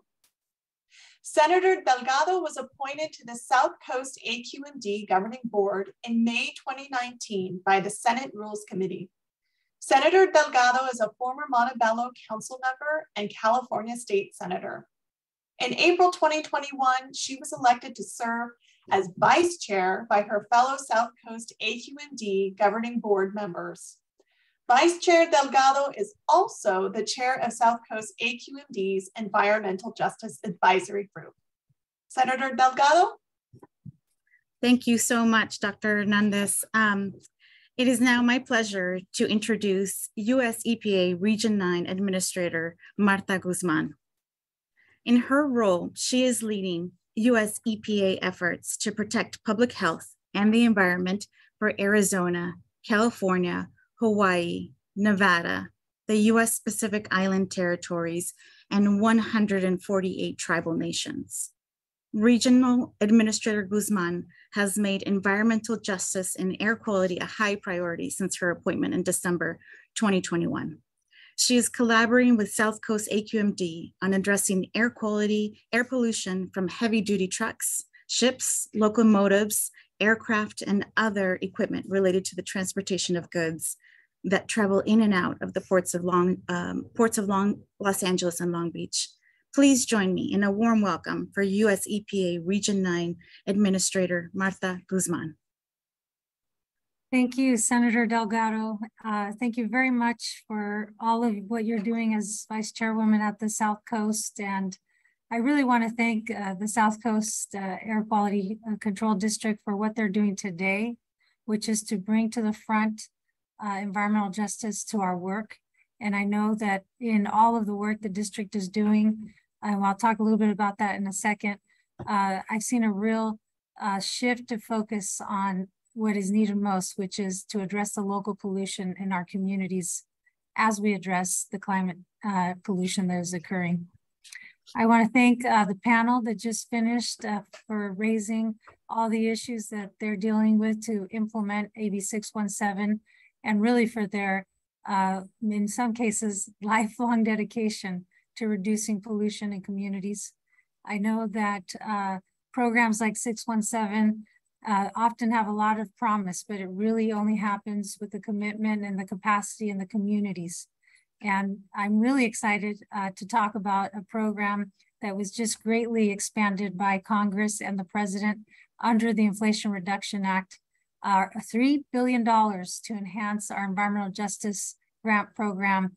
And uh, so we're hoping to help with that capacity for organizations such as those that we just heard from. Uh, but I'm going to talk a, a, little bit more about that also later. I want to also thank Wayne for all of his uh, collaboration and his uh, really um, difficult job. I often say he has uh, the most difficult job in the state on trying to uh, implement some of these very difficult uh, regulations and, and transition. I and he of course going to do it without a strong board like your leadership, Senator Delgado. Also want to recognize Gideon Krakoff, who does double duty by sitting both uh, on the South Coast Board and the State Board, California Air Resources Board. So thank you all for your work, which is uh, really volunteer work and often forgotten about how much time uh, it takes to really help improve our air quality. Um, I'm here in DC and um, I've been sharing really the urgency with my colleagues and across government for us to act, for us to do what many of you are calling on us to do. And again, uh, we're very happy to have some tremendous resources that were just provided to us through both the infrastructure, eh, excuse me, Inflation Reduction Act and the bipartisan infrastructure law. And so we're here really urging uh, ourselves to, to figure out how to, to take greater action. I, as you know, I am from uh, California. I work in our San Francisco office. I am in Sacramento, and I know that this past week, uh, last week, more than ever has highlighted for us the impacts of our climate warming. Uh, it's now the 31st month of our drought in the West, uh, particularly in California. Uh, last week, as you all know, down in Southern California, in Sacramento, we hit a record heat of 116. And I know down in Pasadena, there was a record setting of 103 degrees and 110 in Burbank. Uh, those uh, those levels of heat were something that really were unthinkable just uh, a few years ago in terms of the acceleration of the warming. We also had set a record setting a level of energy use of over 52,000 megawatts of peak demand. And fortunately for the leadership in California, the power stayed on. And of course, the wildfires. Uh, you, many of you, like myself, being affected by some of the wildfires in Placer County. Uh, I know that down in the Fairview fire in the South Coast, that's impacted over 30,000 acres and over 20,000 people in the Hemet area. And, and so just want to express uh, in those words and take just a moment to reflect on how real this is, how we're feeling it today in the air that we breathe and the warmth that we feel, and really bringing into perspective uh, not just what we all know in terms of the air quality impacts that have driven our work for so long for the lung and heart disease, for the asthma disease, but really for the saving of the planet. And just, just to recognize too the transition that we're in, uh, in particular in the South Coast, going from programs like Reclaim uh, to six to six to six seventeen and to more direct regulation that's actually going to bring a localized impact. So it, is a very dynamic time, and and you guys more than anyone in the state is really looking at how to do it right and learning from our mistakes. We've all made mistakes, and we're all able to focus even better now. Uh, I'm uh, very glad to say that um, this mindset of thinking local first and, and taking the frontline communities first when we are doing these regulations and doing these funding decisions is really um, leading with the mindset of equity. That's something that really motivated me to join the Biden administration is hearing from the president himself. Even yesterday at an event here, he reiterated the need to really begin our work and think of our daily work in with the lens of the frontline communities in mind. Uh, I mean, he literally said it again yesterday. So uh, it's really an honor to be here. I've mentioned a little bit about um, the resources that we're getting from these two federal actions. Uh, we're also getting human resources, and we're very happy uh, soon to be setting up our Office of Environmental Justice here in Washington, D.C., but also the regions getting resources I know many of you uh, have probably worked with our one of our lead environmental justice uh, uh, persons here at EPA, Morgan Capilla, and we hope to get up to 12 new people to really do the work that she's been doing so strongly in collaboration with all of you. We, I do, uh, she told me to make sure to, to do a plug for the EJ programs community check-in. These check-ins take place the fourth Tuesday of each month and um, and the and the next one is scheduled for September 27th from 6 to 7. So if you don't know how to get a hold of Morgan Capilla, I'm going to put, or somebody maybe can put her email into the chat, and that's capilla.morgan at epa.gov. So I'll make sure we get somebody to put that in there. Um, all right, so obviously we have a tremendous amount of work that we're doing with uh, all of uh, the district, the state of California, and of course the administration. And I also just want to talk about what it's going to take here. We know that, uh, as you mentioned, uh, Vice Chairwoman, many of those uh, heavy emitters like heavy duty, heavy duty uh, trucks, rail, um, ships, many of those things fall within the jurisdiction of the federal government, and those are our responsibilities to act. Fortunately, as well, many of that overlaps with the California Air Resources Board, and we know how much the state of California is leading and helping bring the nation along on many of these standards. Uh, but it's it's a lot. And I just wanted to, uh, you all know this, but in the last air quality management plan, the South Coast was really clear about the tonnage that we're talking about.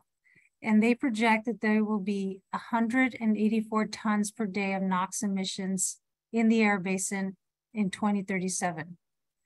And there can be no more than 60 tons per day to attain the air quality standards. That means to get from 184 to 60, we still need to cut emissions by more than two thirds. That's our challenge. Uh, the Air District has offered up approaches, as I mentioned, uh, some fall within the federal uh, government's role, and some, as you are doing with reclaim and other measures, fall within the district's roles. Uh, the South Coast uh, does have to do an additional, in their realm, additional 60% reduction from the 41 tons per day of emissions that they uh, that they're talking about for 2037. Again, that's a 60% reduction from the 37, and they say 37 tons per day on on-road vehicles, 70% of the reductions from the 47, again, those 47 tons from the South Coast for off-road mobile sources, and 20 tons from aircraft emissions. And 80% reductions have to come from uh, ocean-going uh, vessels. So there's there needs to come, we need to get another 31 tons from those ocean going vessels. I'm, I maybe maybe I put too many numbers out there, but it's just to say we the beautiful thing of the work of the South Coast uh, is that they've outlined where the reductions need to come from. And for a long time, we've been in a place of uh, pointing fingers at each other. But now we're actually pointing out the tons that need to come from the sectors. And we're using every tool that each of us respectively throughout government has to get there. And um, uh, let me talk about some of the ones that we're working on. Of course, you've heard of the Clean Trucks Plan. In March, we proposed the more stringent standards for NOx on heavy duties, heavy duty vehicles starting uh, in the model year 2027. And of course, you all know the, the president asked us to finish uh, that rulemaking by the end of the year, and we are on track to do that. EPA is also developing stronger emission standards for light duty passenger vehicles and medium duty commercial vehicles for model year 2027 and beyond. And of course, uh, the president has also asked us in all of these regulations to work towards zero emissions. I also want to just, uh, of course, uh, make a shout out to California and their leadership for really putting out what's possible on this standard. And of course, that's very much influencing all of the discussions around how we can get to a stronger standard at the federal level. Lastly, um, as uh, many of you know, we will also be setting a greenhouse gas standard for heavy duty vehicles, and those uh, uh, will take effect um, no later than model year 2030. So uh, that is also, we heard much great public input on that. So those are the um, those are some of the big ones on the heavy duty side. Um, we also um, have, of course, a, a, big role not just in rulemaking, and, and, I should I should recognize that there are additional uh, rulemakings, of course, that we're having to take place. Uh, everything from ethylene oxide facilities that have a very specific uh, contamination issues to uh, rulemakings that are coming as late as the Inflation Reduction Act that tells us to set uh, new rules for methane emissions and assess fees related to those. So uh, I think we've also, uh, as you know, uh, Senator Padilla has asked us to work collaboratively on many of these sectors to figure out how we're gonna make further reductions, particularly on those sectors that uh, don't have a rulemaking calendar yet. And most notably, uh, the need to really work more closely uh, on reducing emissions from the railroads, uh, as well as the um, uh, certainly the um, air, airlines. Um, but, um, and, and of course the ships. So all of those together, and, and again, uh, not to be super redundant, but there was an additional uh, funding for ports. And in that case, that's including, you know, ports is including rail, it's including ship, and it's of course including uh, the ports themselves. And a, another unprecedented amount of funding that EPA has received in this uh, allocation to deal with that. So uh, it's it's all in real time. I know um, people are. Uh, I saw some of some of your colleagues meeting uh, with the White House this morning on how best to appropriate those funds to port communities and to ports themselves. So uh, rulemaking is a big piece of this, funding is a big piece of this, and of course, enforcement. And um, this isn't the bringing back enforcement to our role as EPA has been something that the administrator has said uh, from the beginning of his uh, job here, and really um, setting goals for those those uh, the enforcement taking place and taking priority in environmental justice communities and particularly uh, for the South Coast in working in collaboration with 617 to do that. Uh, we have a partnership with Cal EPA and we signed in 2021, even before I arrived. So this goes to say a lot about the leadership, not just here in DC, but the leadership within the staff at EPA that has existed even before me. And so this uh, MOU with Cal EPA and, MO, uh, and us has a focus of enforcement and we do have uh, the collaboration with the 617 communities as driving uh, some of the areas that need further prioritization. Um, it's including, uh, you know, having individual meetings with the LAEJ Enforcement Network, as well as um, individual community groups and tribal nations, uh, particularly the Eastern Coachella Valley. Uh, so we have developed, I'm happy to say, I saw um, a few weeks ago a work plan for the rest of this year and next year that will pilot many of the tools that various communities requested uh, that, that incorporates greater resident engagement and coordination uh, so that residents aren't trying to figure out who's in charge. And, and we're really living this in real time we want to pilot in one of these communities, which is uh, the community around Atlas Metal, the metal recycling facility adjacent to Jordan High School, where we can actually use all of our collective jurisdictional authorities to, to ensure greater um, compliance with that facility. Uh, this past June as well, the Federal State Enforcement Partnership formed a multi-agency working group for Atlas and the goals of that collaborative are, in fact, to get to greater environmental compliance, as I said, and um, to develop greater and consistent communication uh, tools, everything from, you know, fact sheets to uh, how we're doing this with the community so that we can have that continuous engagement. Okay, so I, I think that, um, you know, one of the uh, also the the higher level of focus that we've been able to have on some of our i'm going to go back to funding as our funding strategy. I know i talked about the ej grants the port funding and lat, lat before the inflation reduction act as i mentioned we had the bipartisan infrastructure law and we had um, 91 million dollars that were uh, total been able to go towards the diesel emission reduction act and the targeted airshed grant um, for the South Coast. There are two uh, really great examples um, for this uh, last fiscal year. There's 4 million in the targeted airshed grant that went to the district, and we're supporting the replacement of diesel locomotive with a new battery electric unit. And this, this unit will operate between LA and Barstow. Um, this is, you know, uh, part of the balance of regulating is getting uh, enough evidence of what's possible and under what timeline. And I think we all know where we're headed now as we talked about getting to zero emission on all of our transportation. This type of investment is really uh, showing some success to my knowledge. There was one report a couple months ago that has been positive.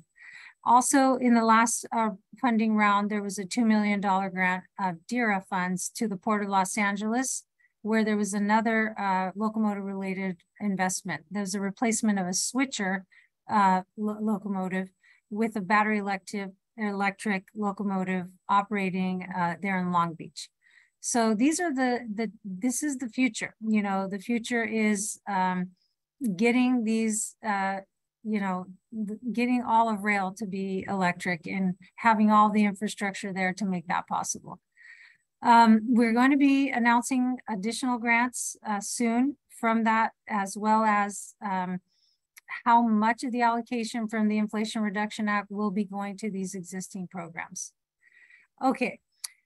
Um, let's see, any other big funding ones that I'm, well, I do also obviously want to mention that not in our bucket, but of course related very much to this work were so many additional funds that went to our sister agencies, including, um, you know, funding that's going to go to individual households as tax credits for, uh, for, for really exciting things around um, heat pumps in particular. That is the first time we've seen this type of substantial uh, tax credit go for residential heat pumps at a federal level.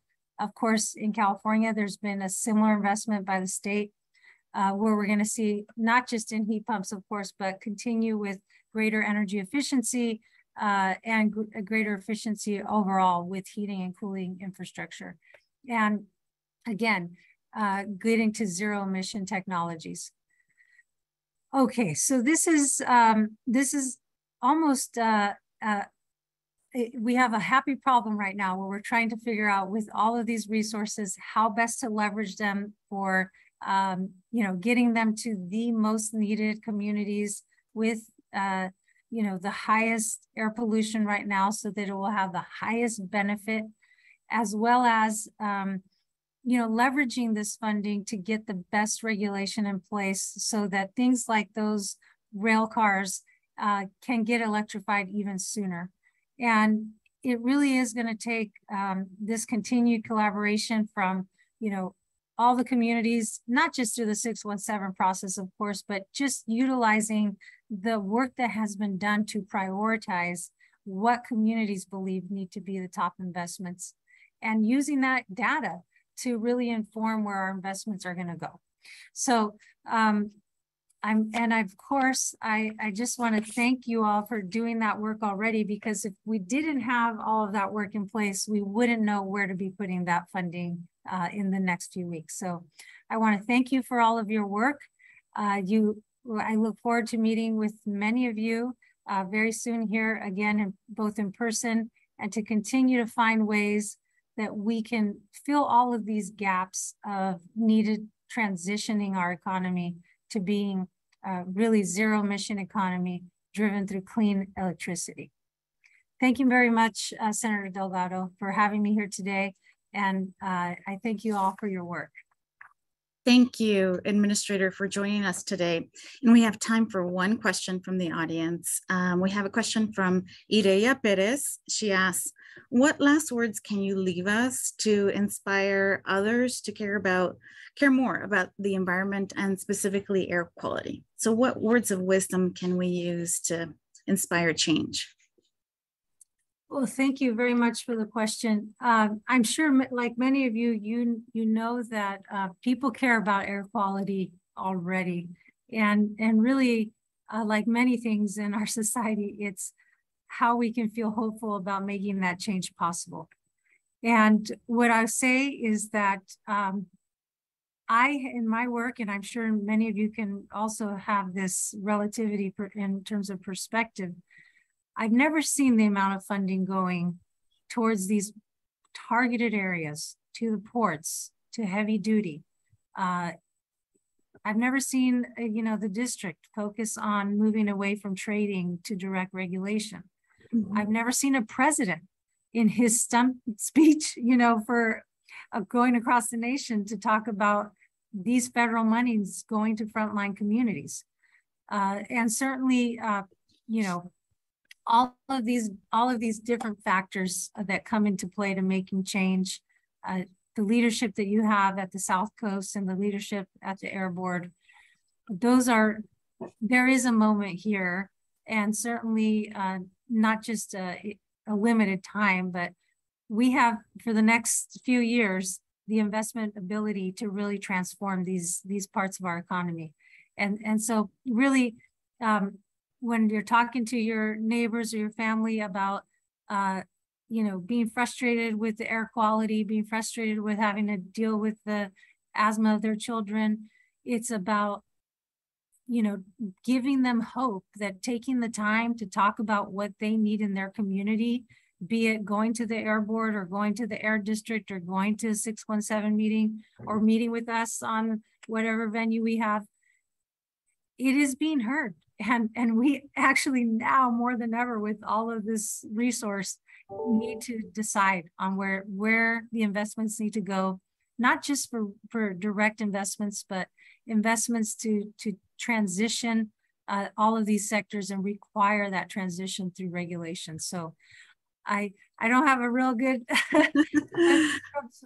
you know elevator speech for you to use with folks on that one but i can work on it and and get back to you but i do think it's it's really just maybe giving them some hope that uh, that the leadership is there. And thanks to the Biden administration, the funding uh, and the act by Congress, of course, the funding is there.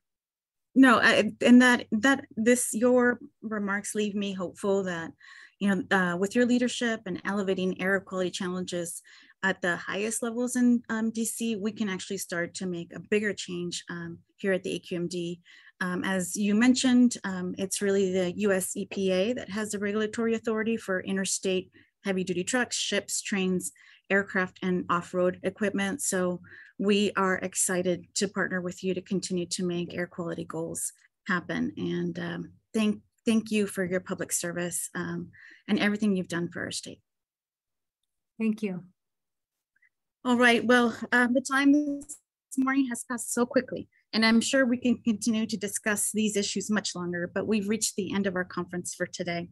On behalf of the South Coast AQMD, thank you for participating at the eighth annual Environmental Justice Conference, Our Lives, Our Environment, Collaborating for Clean Air. Today's conference highlighted that we must all work together to reduce air pollution and protect public health, especially in the environmental justice communities. Making the kind of changes we hope to see requires collaborative relationships, listening to the community's needs, and fostering trust. I, I, encourage you to use this information today and visit the conference webpage, webpage with staff. Uh, we'll be po uh, populating with the resources from today's conference. I also want to thank and um, confirm our partnership with Attorney General Bonta, US EPA Regional Administrator Guzman, our panelists and moderators. This conference and our work every day would not be possible without your collaboration with South Coast AQMD. Additionally, I'd love to thank um, our South Coast AQMD staff for all their work um, to bring this together and the virtual exhibitors for sharing their resources with us today. And lastly, but not least, I'd like to thank our MC, Dr. Monique um, Hernandez, for your work today and also for all that you do on the EJAG um, board, uh, community board. So thank you so much for that, Dr. Hernandez. Thank you, Senator Delgado. We appreciate if each of you could complete our brief survey, simply scan the QR code on the slide to be directed to the survey. Your feedback will help us plan next year's conference. We also encourage you to connect with others because stronger coalitions bring forward greater positive change. Thank you for participating and on behalf of South Coast AQMD and the Environmental Justice Community Partnership Program, thank you for spending the morning with us. We hope you will stay engaged in the fight for environmental justice.